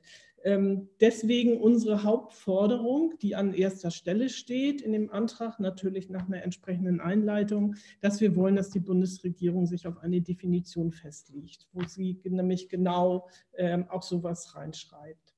Ähm, wir haben in dem Zusammenhang aber auch äh, in unserem Antrag herausgearbeitet, dass ein wirksamer Gewaltschutz darin bestehen muss, dass die Autonomie von Frauen gestärkt werden muss. Also die Autonomie von Frauen auch in ökonomischer Hinsicht zum Beispiel, also was äh, eine eigene Wohnung, was ökonomische Unabhängigkeit angeht, haben wir gesagt, das ist eine ganz, ganz wichtige Grundlage, um ein Leben frei von Unterdrückung führen zu können. Und genau diese Debatte wollten wir sozusagen als den strukturellen Hintergrund und das, ich glaube, Alex sagte das vorhin, wenn man Femizide bekämpfen will, dann muss man sozusagen die Strukturen schon vor der Prävention äh, bekämpfen. Genau damit, äh, mit diesem Punkt wollten wir in die Richtung. Der zweite, die zweite wesentliche Forderung in unserem Antrag ähm, ist die Forderung nach einer sogenannten Femizid-Watch-Stelle, einer unabhängigen Beobachtungsstelle, die ähm, folgende Arbeit leisten soll. Also sie soll erstens alle Tötungen, die es gegen Frauen gibt, ähm, erfassen. Ähm, alle Tötungen meint auch äh, sogar Tötungen, die Unfälle sind äh, scheinbar oder Suizid ähm, und sollen alle diese Tötungen in einem Lagebericht veröffentlichen. Ähm, wir, diese Arbeit wird im Moment äh, von Aktivistinnen geleistet, äh, von ähm, NGOs geleistet. Also da werden zumindest Femizide äh, vermeintliche erfasst. Äh, die Bundesregierung soll aber mit der Bildung so einer unabhängigen Beobachtungsstelle ähm, dort einen wesentlichen Schritt gehen. Und diese Stelle soll aber eben nicht nur erfassen, sie soll auch forschen ähm, und sie soll besonders auch zu Risikomomenten ähm, forschen, weil nur wenn wir eine entsprechende Datenlage haben, wenn es äh, darüber eine Verständigung gibt, wo eigentlich äh, besondere äh, Risikomomente sind, dann kann man natürlich auch Gewaltschutz äh, nur auch passgenauer steuern. Ne? Sonst äh, ist ja logisch, ohne Analyse keine, keine vernünftige Diagnose. Mir ist eben ähm, beim Überlegen eine Lehrstelle aufgefallen, wo wir vielleicht auch nochmal nachüberlegen müssen bei uns äh, in der Fraktion, weil wir haben nämlich zum Beispiel versuchte Tötungen ähm, gar nicht mitgedacht. Also jedenfalls habe ich bei dieser Femizid-Watch-Stelle, bei der Beobachtungsstelle noch nicht dran gedacht, ob wir eben auch versuchte Tötungen da nicht mit einbeziehen müssen, weil das würde ja zur Forschung gehört, gehören. Also ich lerne sozusagen auch äh, während dieser Veranstaltung schon die weiteren Schritte. Äh, ein weiter, weiterer wichtiger Punkt, weil ich ja ähm, gesagt hatte, dass es uns auch eine Stärkung der ähm, Autonomie von Frauen gibt als wirksamen Gewaltschutz. Deswegen haben wir darin die Forderung, dass es ein Bundesprogramm geben soll, mit dem auch finanzielle Starthilfen zur Verfügung gestellt werden, wenn eine Frau sich aus einem Gewaltverhältnis befreien will, weil äh, das ist natürlich ein Riesenproblem für ganz viele Frauen, die aufgrund äh, auch der finanziellen Situation, der Abhängigkeiten in so einer äh, Beziehung, ich mag immer gar nicht Partnerschaft sagen, das hört sich irgendwie immer zu positiv an, ne? wenn das irgendwie in Partnerschaftsgewalt und äh, sogenannten Tötungen, Trennungstötungen endet.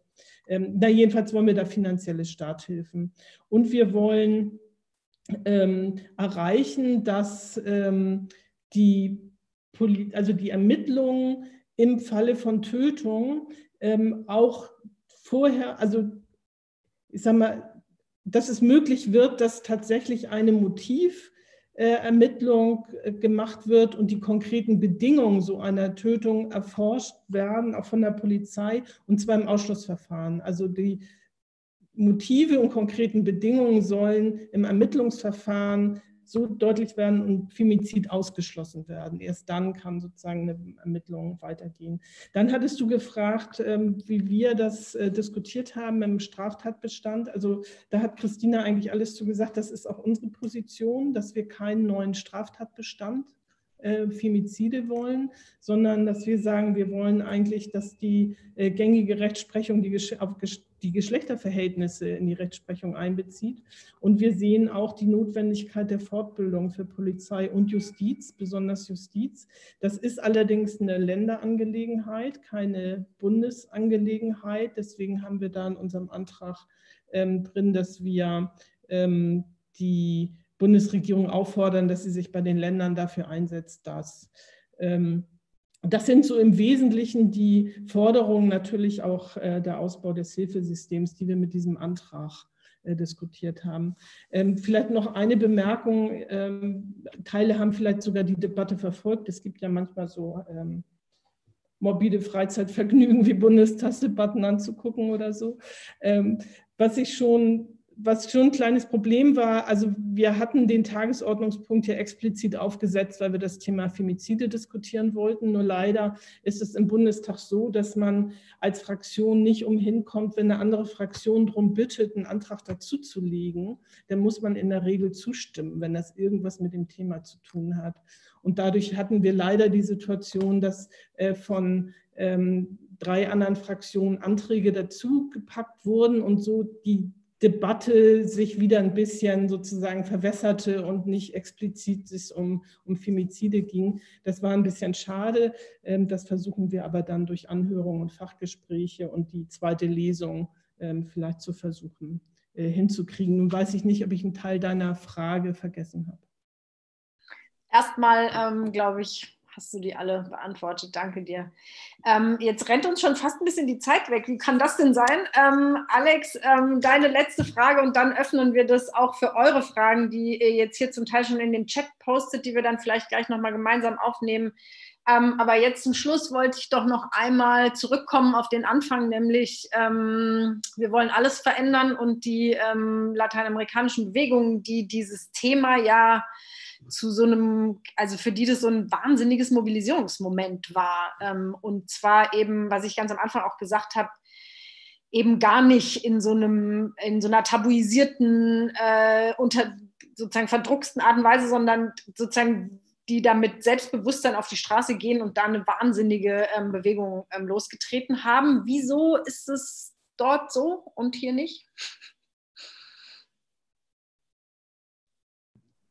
Also äh, zu der Frage, warum dort und hier nicht. Ähm, ich glaube sozusagen, wir sind einfach nicht auf demselben Stand der Diskussion. Wir haben, wir haben äh, eine andere Geschichte von äh, Frauenbewegungen, ähm, würde ich behaupten. Und sozusagen, ich finde, ich, also sozusagen seit, äh, es keine mehr gibt, seit ähm, 2017 diese erste Veranstaltung von Keine mehr und der Rosa-Luxemburg-Stiftung zum Thema gab, wo ja versucht wurde, alle Leute zusammenzubringen, die zu dem Thema arbeiten. Ähm, was äh, sehr viel Suche benötigt hat und ähm, sozusagen seither sind wir schon ein ganz schönes Stück gegangen. Also sozusagen es gibt immer mehr zum Thema Femizide. Deshalb ich will erstmal sagen die Entwicklung auch positiv beschreiben, die es hier dazu gibt. Und ähm, in Argentinien, also zum einen äh, sozusagen insgesamt in Lateinamerika, ist dieses Thema tatsächlich ähm, einfach auch schon älter besprochen und ähm, ähm gibt es auch ähm, le leider sehr viele Fälle, die ähm, sehr stark in der Öffentlichkeit stattgefunden haben. Jetzt in Ciudad de Juarez gab es in den 90er Jahren schon an der Grenze zu den USA, ist das gab es auch im Kontext von äh, extremer Ausbeutung äh, in der Grenzregion äh, sehr, sehr viele äh, Frauenmorde, sehr, sehr viele Morde an Frauen und die sind sehr stark öffentlich gewesen, wenn auch die Körper öffentlich ausgestellt worden sind. Dadurch war es irgendwie stärker zugänglich. Bei uns findet eben sehr, sehr viel statt, immer noch im, im sogenannten häuslichen Bereich und hinter verschlossenen Türen. Ich glaube, das ähm, ist dann manchmal auch schwierig äh, zu vergleichen. Aber was trotzdem, äh, ich finde, was sehr ernst genommen werden muss. Also zum einen, diese Debatte, die wir jetzt über Femizide haben, könnten wir nicht machen ohne die ganzen Analysen und Bewegungen, die es eben äh, vor allem in Lateinamerika dazu gegeben hat.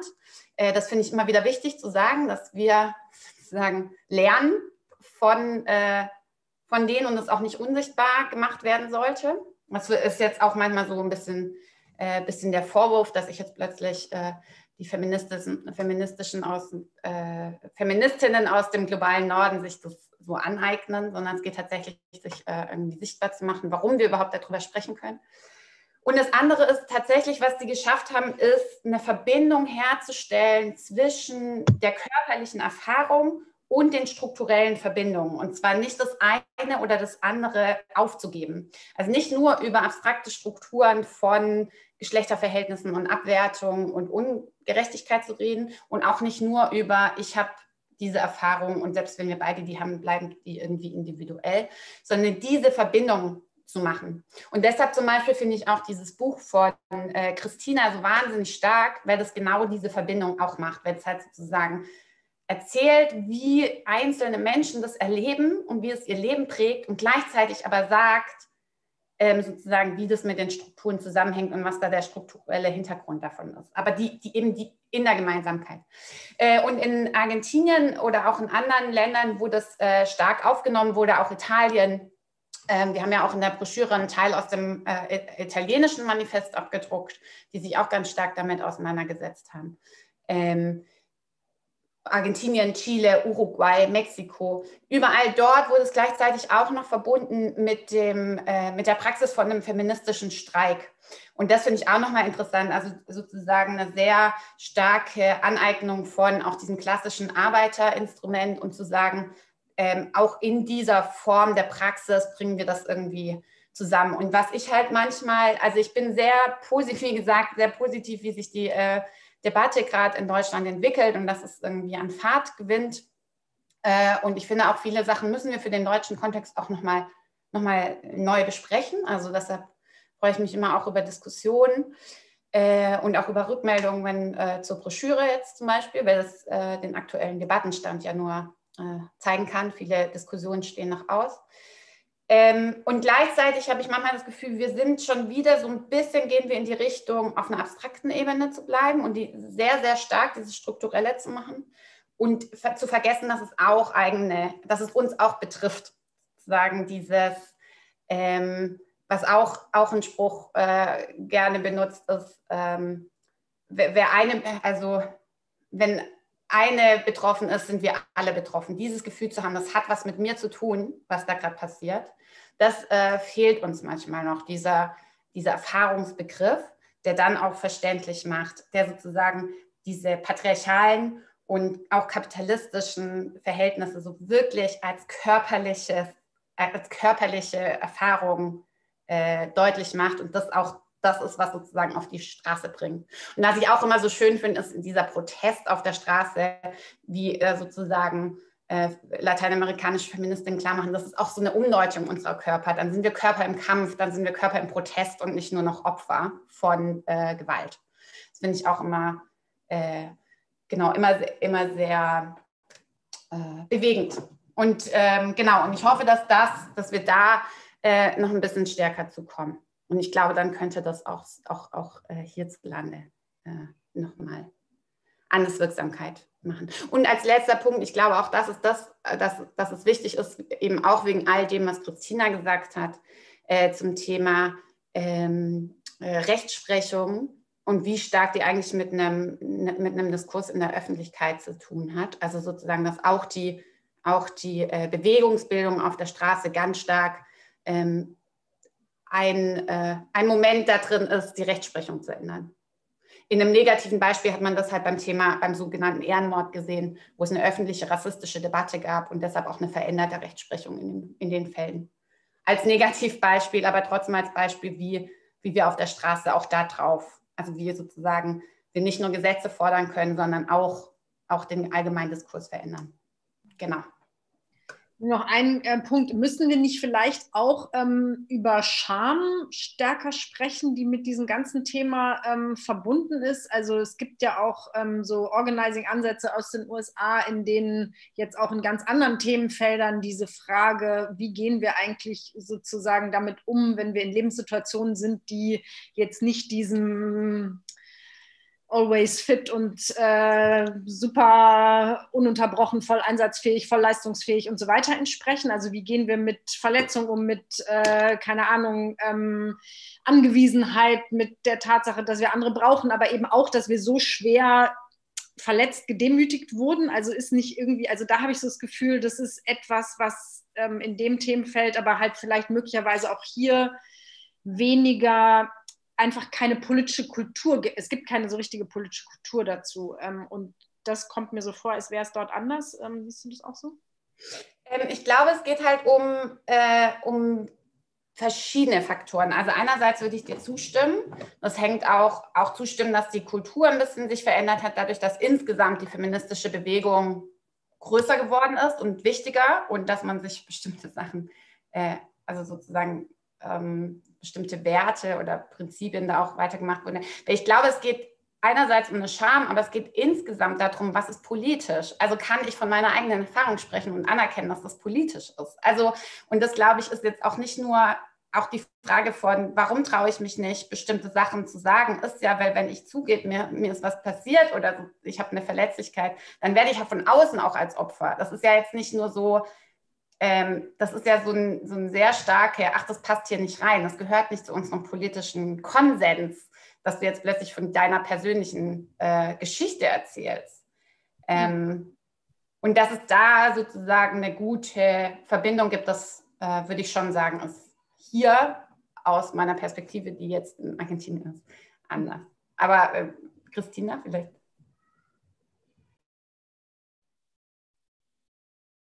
Genau, dazu würde ich gerne was sagen, weil ich glaube, Scham ist natürlich ein riesiges Problem. In Deutschland ist einfach, sind Gewalterfahrungen eigentlich nicht sprechbar für die Betroffenen. Ähm, es gibt nur, un, also auch nicht in politischen Auseinandersetzungen, dann ist man ja immer, dann kann man nicht mehr ernst genommen werden. Ich glaube, das ist so die Umkehrung im deutschen ähm, Kontext. Ähm, und es ist aber auch so, dass wir mit einer riesigen Gegenwehr sofort rechnen müssen. Also es ist nicht umsonst, dass es kaum sogenannte MeToo-Fälle im Kulturbereich zum Beispiel in Deutschland gibt. Ja, so, weil man sofort massiv unter Druck gesetzt werden wird. Sofort gibt es ähm, äh, Anwälte, die einen mit Unterlassungsverfügungen ähm, entgegentreten und so. Das ist auch kompliziert. Wir haben ähm, tatsächlich eine, ähm, eine Entwicklung hier auch, in dem alle sehr, sehr vorsichtig sind, überhaupt darüber zu sprechen, was ihnen widerfahren ist viele, die auch schlechte Erfahrungen damit gemacht haben, wenn sie gesprochen haben. Und äh, ich wünsche mir auch, dass wir da alle viel mutiger werden und auf die Straße gehen und laut werden und auch das nicht so mit uns geschehen lassen, was hier alles passiert. Und es gibt so Selbstverständlichkeiten, also diese Selbstverständlichkeit zum Beispiel, dass weiß ich nicht, dass sich eigentlich jede als Frau gelesene Person äh, Sorgen macht, wie kommt sie nach Hause, was ist mit dem Park, kann ich hier gehen, kann ich das machen. Das ist schon so ganz drin und ist noch nicht mal, also es wird so wenig Wut auf die Straße getragen darüber. Und das finde ich, ähm, das müssen wir viel mehr wieder diskutieren. Ich glaube, das ähm, haben wir eine Zeit lang alle nicht gemacht und äh, sollten wir wieder tun. Okay, danke. Dann ähm, danke ich euch dreien jetzt erstmal super für diese ähm, ähm, ersten zwei Runden und genau, vielen, vielen Dank. Jetzt würden wir die Diskussion öffnen. Ich würde jetzt erstmal fragen, ob es ähm, jetzt hier in dem Meetingraum Personen sind, ähm, die auch sozusagen sich jetzt zu Wort melden wollen. Dann könntet ihr das nämlich tun mit ähm, unten habt ihr bei Teilnehmerinnen könnt ihr so eine blaue Hand, also könnt ihr anklicken, Hand heben. Im Zweifel könnt ihr aber auch einfach in den Chat ein Sternchen oder ein Pluszeichen posten, dann sehen wir das auch. Ähm, dann könntet ihr jetzt einfach selbst ähm, Fragen stellen. Ähm, solange ihr das doch überlegt, ob ihr das wollt, würde ich vielleicht dann ähm, mal ein, zwei Fragen nochmal aufnehmen, die jetzt hier in dem Chat ähm, schon gepostet wurden. Es sind irgendwie sehr viele verschiedene. Ich fange jetzt mal einfach vielleicht mit zweien an. Also die erste Frage war die nach ähm, sozusagen Männern als Opfer. Ähm, da war die Frage, dass äh, in den sozusagen Tötungen in Partnerschaft sind es ja irgendwie knapp ein Drittel Männer, die dort auch von ihren Partnerinnen getötet werden. Ähm, und wie sich das erklären lässt, ob ihr dazu vielleicht was sagen könnt. Ähm, genau, das war so die eine Frage. Und eine andere Frage war die nach ähm, der Sichtbarmachung ähm, von Polit also sozusagen äh, Tötung von Frauen in politischen Kontexten.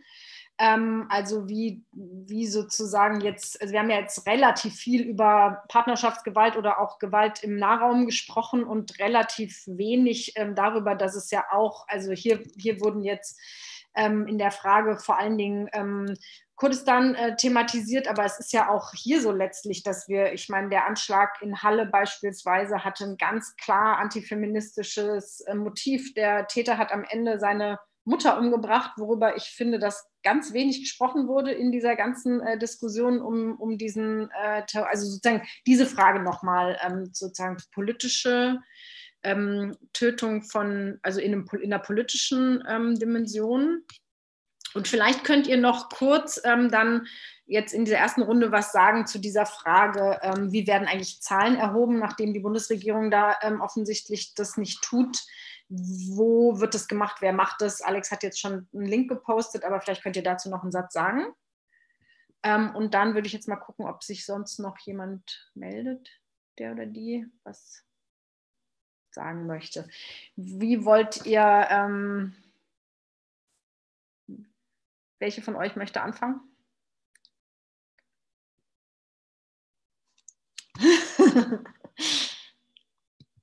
Vielleicht mal kurz zu der Frage ähm, der Männer als Opfer. Ja, genau. Also Männer als, genau, als ähm, Getötete in Partnerschaftsgewalt. Genau, vielleicht äh, mache ich das dann äh, einfach kurz. Und zwar ich finde da, davon immer total wichtig, weil die Frage ja auch so gestellt ist, wie erklärt man das, dass das dann auch gibt? Dann kann das eine, kann ja nicht Frauenhass sein, wenn es auch gegen Männer gibt. Ähm, ich würde immer sagen, es gibt ganz wenige Sachen, zum Beispiel auch bei anderen Themen, die wir als feministische Themen bewerten. Frauen, äh, Altersarmut oder, mh, hm, oder, oder Minijobs oder Teilzeitfalle oder es gibt kaum ein Thema, das sozusagen nur Frauen trifft oder nur äh, als äh, Frauen gelesene Menschen. Aber es gibt eben Themen, die Frauen ganz äh, anders und sehr viel stärker treffen. Ich finde, die Aufteilung von 82 äh, Prozent zu 18 Prozent ist schon sehr frappant. Und das andere ist, wir wissen halt ganz, ganz wenig über die Tötung. Wir haben halt Zahlen, wir haben Tabellen und wir haben ganz wenig sozusagen die tatsächlichen Erzählungen dahinter oder auch den, äh, den Verlauf vor Gericht.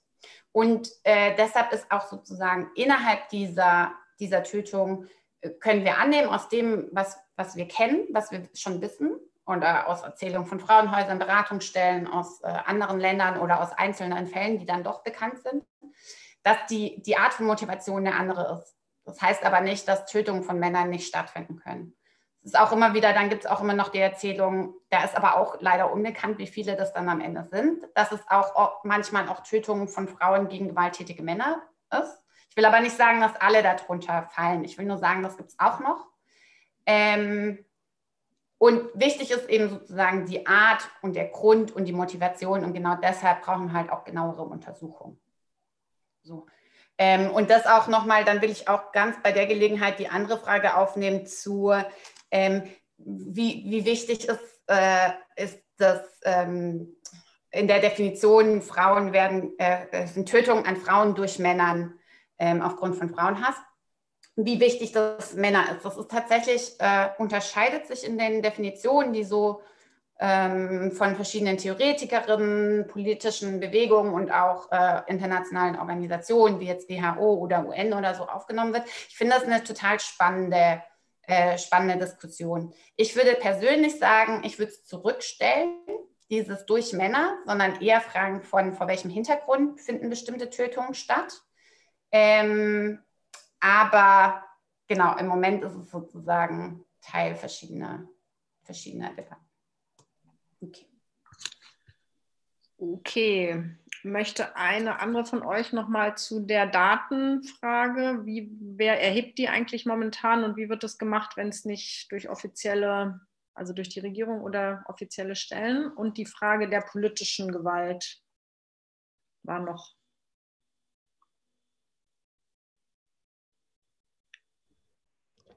kann versuchen zu ergänzen, aber ich meine, eigentlich ist das schon äh, alles gesagt. Also äh, dadurch, dass die, die offizielle Datenerhebung äh, findet wirklich nur im Rahmen dieser Lagebilderfassung äh, statt, die dann jährlich mit der polizeilichen Kriminalstatistik vom Ministerium und äh, Bundeskriminalamt vorgestellt werden.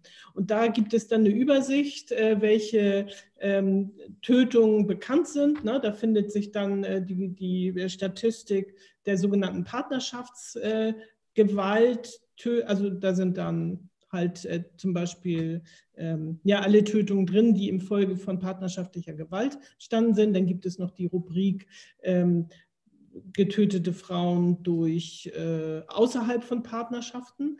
Aber auch da sind eben die Erzählungen dahinter, wie Alex eben gesagt hat, die sind nicht bekannt.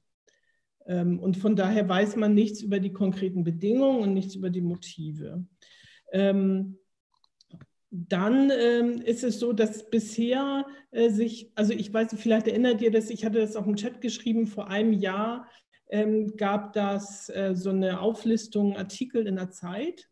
Ähm, ich erinnere das sozusagen auch als so den ersten medialen Durchbruch in der Beschreibung auch äh, der äh, Femizide hierzulande, wo verschiedene, wo, wo immer die, die Geschichte hinter den getöteten Frauen irgendwie aufgeschrieben wurde.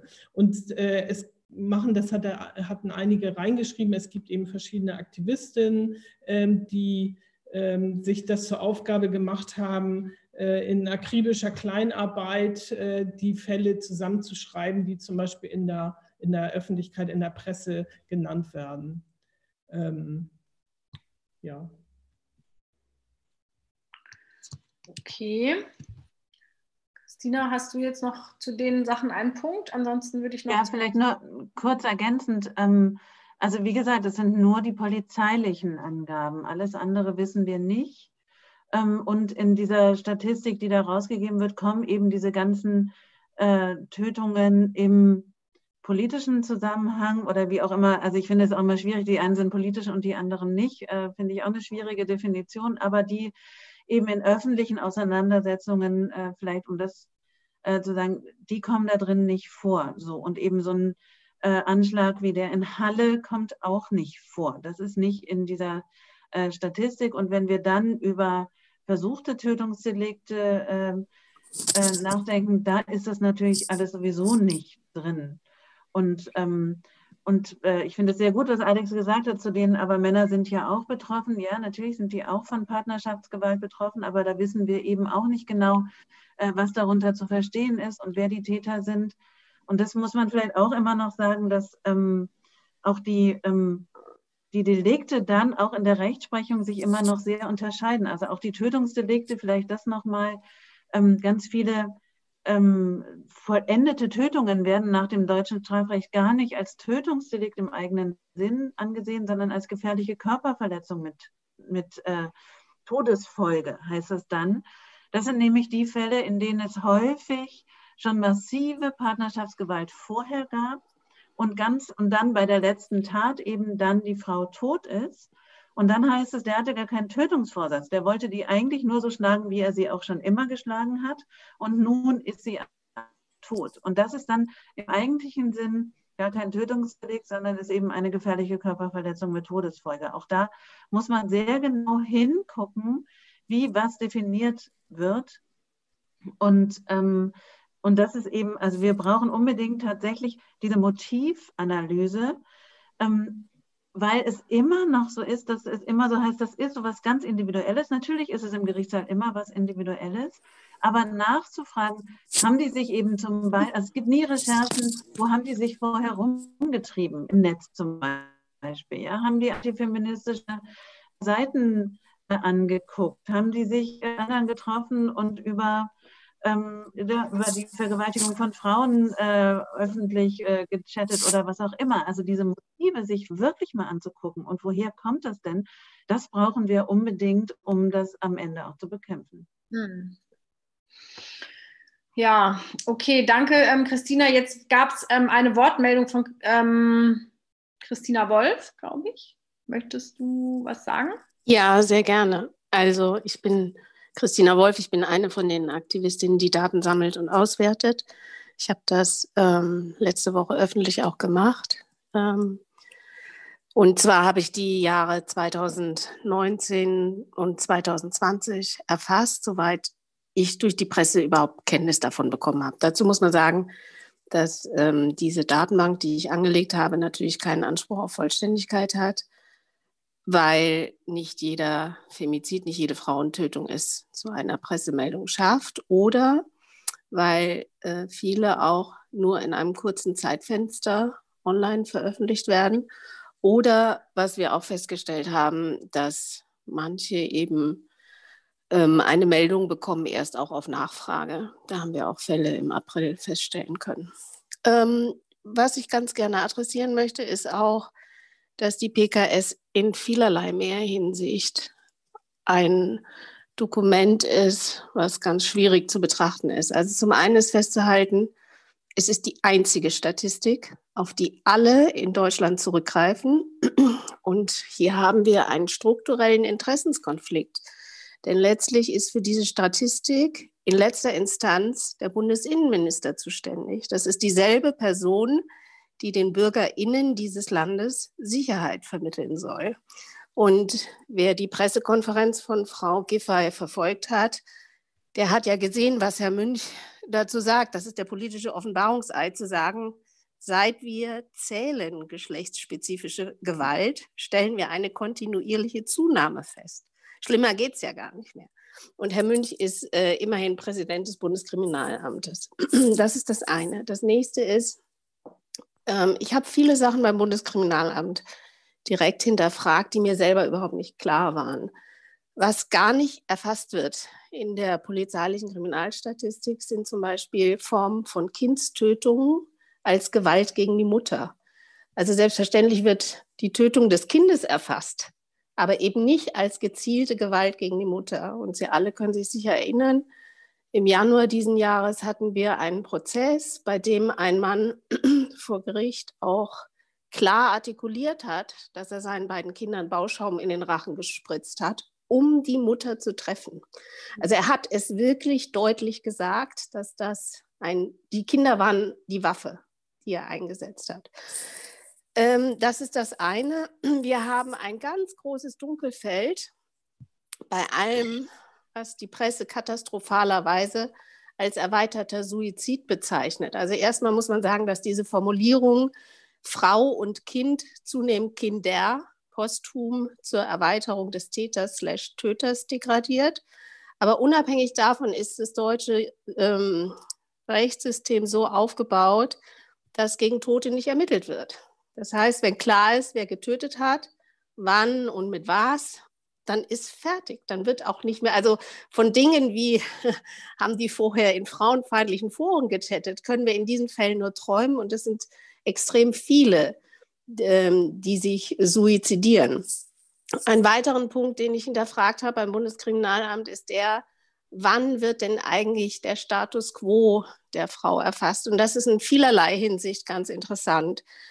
Ähm, also es ist so, dass, so hat man mir es erklärt, dass wenn die polizeilichen Ermittlungen abgeschlossen sind und die Akte wieder an die Staatsanwaltschaft zurückgeht, das ist der Erhebungszeitpunkt. Das heißt, wenn die Frau eine halbe Stunde später verstirbt, erscheint sie in der Statistik nicht als Getötete, sondern wenn überhaupt, dann als versuchte Tötung. Und das BKA unterscheidet ja zwischen versucht und vollendeten Tötungsdelikten.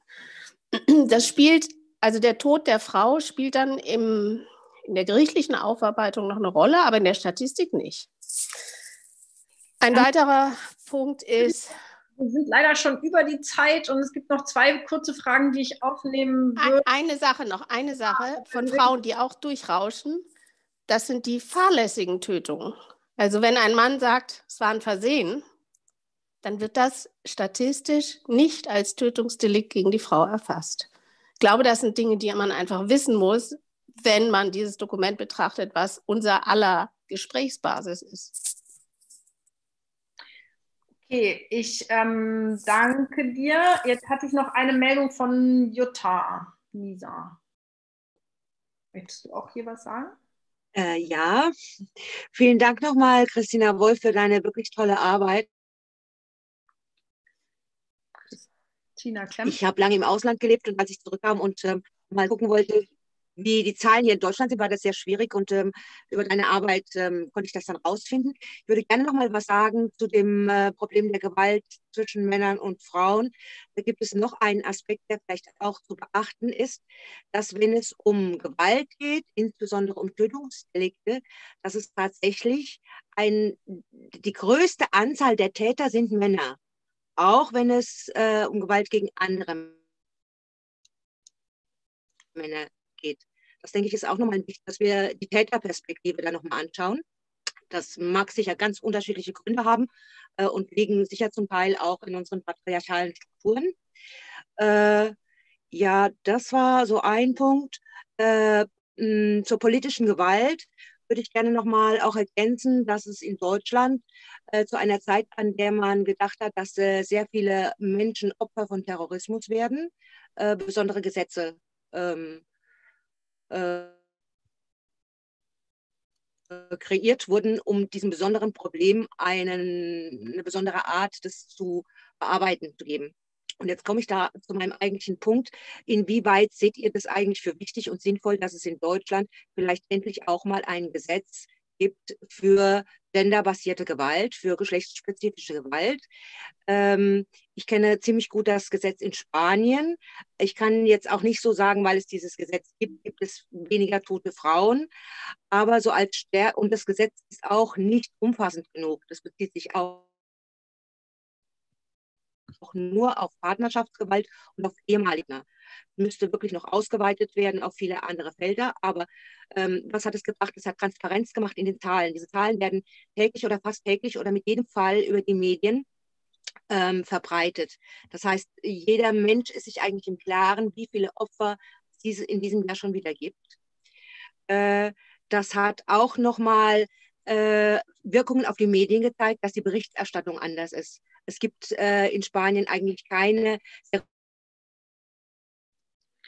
seriösen Medien, die wegen leidenschaftlicher äh, irgendwie oder so Familien- oder häus von häuslicher Gewalt sprechen, sondern man spricht immer von geschlechtsspezifischer Gewalt. Äh, es hat gebracht Fortbildung für Richter, ähm, Anwälte, spezielle Gerichtsverfahren und Polizei. Ähm, und äh, es hat ähm, für die Opfer äh, sind, sind andere Ressourcen vorhanden, andere Mechanismen und natürlich äh, ist das Ganze auch im Haushaltsplan irgendwie muss immer ich, irgendwie berücksichtigt werden. Und als allerletztes äh, ist es auch gelungen, Kinder jetzt auch als Opfer ähm, geschlechtsspezifischer Gewalt ähm, in die Statistik mit reingehen. Das war's. Die Verbindung war zum Teil sehr schlecht. Ich weiß gar nicht, ob ihr das jetzt alles gut verstehen konntet. Ähm, nicht so richtig, wa? Also es ist leider eh so, dass uns die Zeit wegläuft. Ich würde jetzt noch zwei ganz kurze Fragen aus dem Chat ähm, aufnehmen, damit sie nicht verloren gehen. Und dann würde ich euch jeder noch zwei Minuten ähm, Abschlussstatement geben. Und dann müssen wir, glaube ich, zum Schluss kommen hier jetzt. Ähm, und zwar, es gab noch zwei ähm, eher kleinere Fragen. Die eine bezog sich ähm, darauf, ob eigentlich dieses ähm, sexuelle Gewalt äh, demnächst in sexualisierte Gewalt mal geändert wird in, in, in den Gesetzestexten, ob es da irgendwelche an, Zeichen gibt. Das geht wahrscheinlich an dich, Christina. Und die andere Frage war, ob wie es eigentlich mit äh, Prävention hinsichtlich ähm, Fortbildung von Lehrerinnen und Lehrern aussieht. Also ob eigentlich in Schulen ähm, was gemacht wird, auch gerade mit Blick auf ähm, das Problem von Social Media Chats in den Schulen, Klassenchats und so weiter, wo das ja auch ein großes Problem ist wir müssen eine Folgeveranstaltung machen, das sagt Conny, genau. So, jetzt, ähm, wie fangen wir an? Christina, fang doch du mal an und dann Conny und dann Alex. Jetzt als Schlusswort oder als. Äh, ähm, äh, genau, also die beiden Fragen noch beantworten und was immer dir noch auf dem Herzen liegt. genau, also vielleicht die beiden Fragen. Ähm, das weiß ich ehrlich gesagt nicht. Ich spreche immer von sexualisierter Gewalt. Ähm, ob der Gesetzgeber das ändert, das äh, keine Ahnung, ob es da Bestrebungen gibt. Ich glaube, im Moment gibt es eine starke Gegenwehr und die meisten sagen, äh, ist doch, äh, geht doch um Sex. Auch das ist natürlich ein großes Problem, dass da immer noch so wenig Wissen äh, ist. Ähm, die, die Ausbildung oder Prävention insgesamt ein großes Problem. Ähm, ich glaube, es gibt, aber das weiß ich eher, weil ich auch drei Kinder an äh, Schulen habe, ähm, sehr wenig was äh, über Partnerschaftsgewalt in den Schulen überhaupt äh, besprochen wird, über geschlechtsspezifische Gewalt. Es gibt so ein bisschen was zu sexualisierter Gewalt. Ähm, und das äh, ist ja manchmal sehr gut, manchmal auch nicht. Ähm, aber gerade die also Gewaltverhältnisse innerhalb der Familien wird ja auch in den Schulen immer noch sehr, sehr wenig behandelt. so, und ich denke, insgesamt müssen wir, vielleicht das als Schlusswort, ich glaube, wir müssen sehr intersektional immer denken. Wir müssen über die verschiedenen ähm, Mechanismen denken ähm, und nicht, also, wir, also deswegen, es geht sowohl um die äh, in, in der Öffentlichkeit die Gewalt, es geht darum, die besonders vulnerablen Gru Gruppen auch wirklich immer mit im Kopf zu haben. Also auch das im Gericht. Rassismus ist natürlich auch wahnsinnig weit verbreitet. Also und Frauen, die eben sowohl von rassistischer Gewalt als auch von sexualisierter oder ähm, geschlechtsspezifischer Gewalt betroffen sind, die haben kaum Zutritt, Zugang überhaupt zum Recht. Ja, die kommen da überhaupt nicht hin, weil sie so viele Hürden zu überwinden haben. Ähm, darüber müssen wir viel nachdenken. Wir müssen aber natürlich auch darüber nachdenken, wie, wie begrenzt immer noch unser Hilfesystem ist. Wir haben wunderbare Frauenhäuser, wir haben wunderbare Frauenberatungsstellen, aber die sind immer noch nicht hinreichend ausgestattet worden. Das haben wir schon äh, gehört. Das ist natürlich eigentlich unglaublich, dass es in einem so reichen Land wie in Deutschland immer noch müssen die um ihre Stellen kämpfen. Aber wir brauchen eben viel mehr. Wir brauchen das, was jetzt in diesem Antrag auch drin steht, äh, diese Anfangs- äh, oder Starthilfe. Natürlich geht es darum, Frauen sind in häufig sehr ähm, äh, massiven Abhängigkeitsverhältnissen zu den Tätern und es reicht eben nicht zu sagen, da gibt es einen Frauenhausplatz, weil alle auch wissen, das ist nichts auf Dauer, sondern wir brauchen eine echte, ähm, also echte Möglichkeiten, Perspektiven für die betroffenen Frauen, um da rauszugehen. Wir brauchen echten Schutz. Auch der ist überhaupt nicht wirklich gegeben. Ähm, sondern es wird meistens, also in dem Moment, in dem es dann zum Beispiel auch noch gemeinsame Kinder gibt, ist der Schutz einfach dahin. Dann gibt es nämlich Umgang und dann äh, ist die Gefahr wieder riesengroß. Und ich glaube, wir brauchen eben insgesamt, und da führt kein Weg vorbei, wir brauchen äh, eine Abschaffung des Patriarchats, um das mal kurz zu sagen, um nämlich, ähm, genau, weil wir brauchen Gleichberechtigung, um das alles zu verändern. So, und wenn wir immer nur an diesen kleinen Stellschrauben und sagen, wir brauchen jetzt hier nochmal zehn äh, Frauenhausplätze mehr, das wird es am Ende nicht bringen. Wir brauchen eine Bewegung, die tatsächlich dafür kämpft, dass wir patriarchale Strukturen auf allen Ebenen abschaffen. Das wäre jetzt eigentlich schon ein wunderbares Schlusswort gewesen, aber ähm, Conny, ähm, du willst vielleicht das noch toppen. Ja, das, das ist jetzt ja, Nein, die nehme ich nicht an. Christina will ich gar nicht toppen. nur nur äh, zwei Sachen vielleicht ergänzen, weil ich hatte gesehen, da war auch noch eine Frage ähm, an, an mich gestellt, nämlich erstens, warum das so lange gedauert hat, dass die Istanbul-Konvention äh, ratifiziert wurde.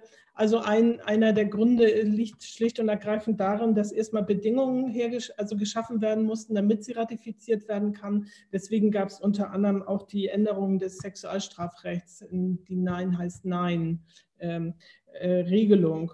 Und ähm, ich könnte, kann auch nur vermuten, dass es vielleicht auch intern in der Bundesregierung da noch ein paar Debatten gab um die Vorbehalte, auf die sie sich dann verständigt haben, weil es gibt ja immer noch zum Beispiel den Vorbehalt das eigenständige Aufenthaltsrecht für ähm, Migrantinnen. Ähm, zu dem Punkt sexualisierte Gewalt statt sexueller. Also ich sehe da auch keine Gesetzesänderung. Also ich ärgere mich regelmäßig im Bundestag auch darüber, dass von sexueller Belästigung gesprochen wird, anstatt von sexualisierter Belästigung. Ich glaube, das Problem wird einfach nicht gesehen. Und was ich aber ähm, noch zwei Sachen, die ich ganz gerne so auch ähm, gerne mit euch weiter diskutieren würde, dann irgendwann. Ähm, der eine Punkt, das ist ja angesprochen worden, inwieweit wir vielleicht auch ein neues Gesetz brauchen oder generell die eine oder andere gesetzliche Regelung. Ich muss ganz ehrlich sagen, ich bin da sehr skeptisch, äh, immer nach weiteren Verrechtlichungen äh, zu streben. Deswegen habe ich auch eine etwas differenzierte Haltung, zum Beispiel wenn es um Forderungen geht wie Catcalling, zum Beispiel im Strafrecht oder so ähm, oder im Ordnungswidrigkeitenrecht zu verankern, weil ich glaube, dass auch diese Verrechtlichung und der Ruf nach der Regelung im herrschenden Recht ähm, ein bisschen uns auch ähm, von den Protesten oder von der Organisierung der Proteste abhält. Also gar nicht bewusst, aber unbewusst, wenn der Schrei nach oder der Ruf nach Verrechtlichung kommt, ähm, da ist mir dann immer der Ruf nach ähm, den Protesten und der Kollektivierung, dem kollektiven Durchbruch dann näher. Und das wäre auch meine letzte Frage. Ich glaube, wir müssen unbedingt daran arbeiten, ähm, dass wir uns vernetzen, dass wir die Themen transparent machen, dass wir deutlich machen, dass es eben kein individuelles Problem ist, äh, mit denen sich da viele, viele Frauen ähm, Sternchen rumschlagen, sondern ähm, das, so wie Alex das so schön gesagt hat, wenn eine betroffen ist, sind wir alle betroffen. Äh, das ist, glaube ich, noch ein weiter Weg, weil wir sind ja nun mal Stützen des, äh, der herrschenden Moral in unserem Land. Aber indem wir selber dazu beitragen, ähm, können wir irgendwann vielleicht den kollektiven Durchbruch schaffen. Und jetzt muss ich noch mal eins draufsetzen. wollte ich, sagen, ich wollte gar nicht so ein Konkurrenzabschlusspodium, äh, ähm, entschuldigt. Nein. Nee, also mehr als, mehr als Patriarchat abschaffen und kollektivieren, äh, Widerstand kollektivieren, habe ich tatsächlich auch nicht mehr äh, zu bieten. Ähm, ich wollte nämlich auch, äh, wie Conny gerade auch schon äh, darauf hinweisen, äh, auf, den, ähm, auf die Frage von, wann, wann kommt denn das Gesetz? Also auch in Spanien ist das Gesetz ein Ergebnis von Bewegung, ein Ergebnis von Organisierung. Und sozusagen das, was es regelt, ist vorbereitet worden aus der Bewegung heraus.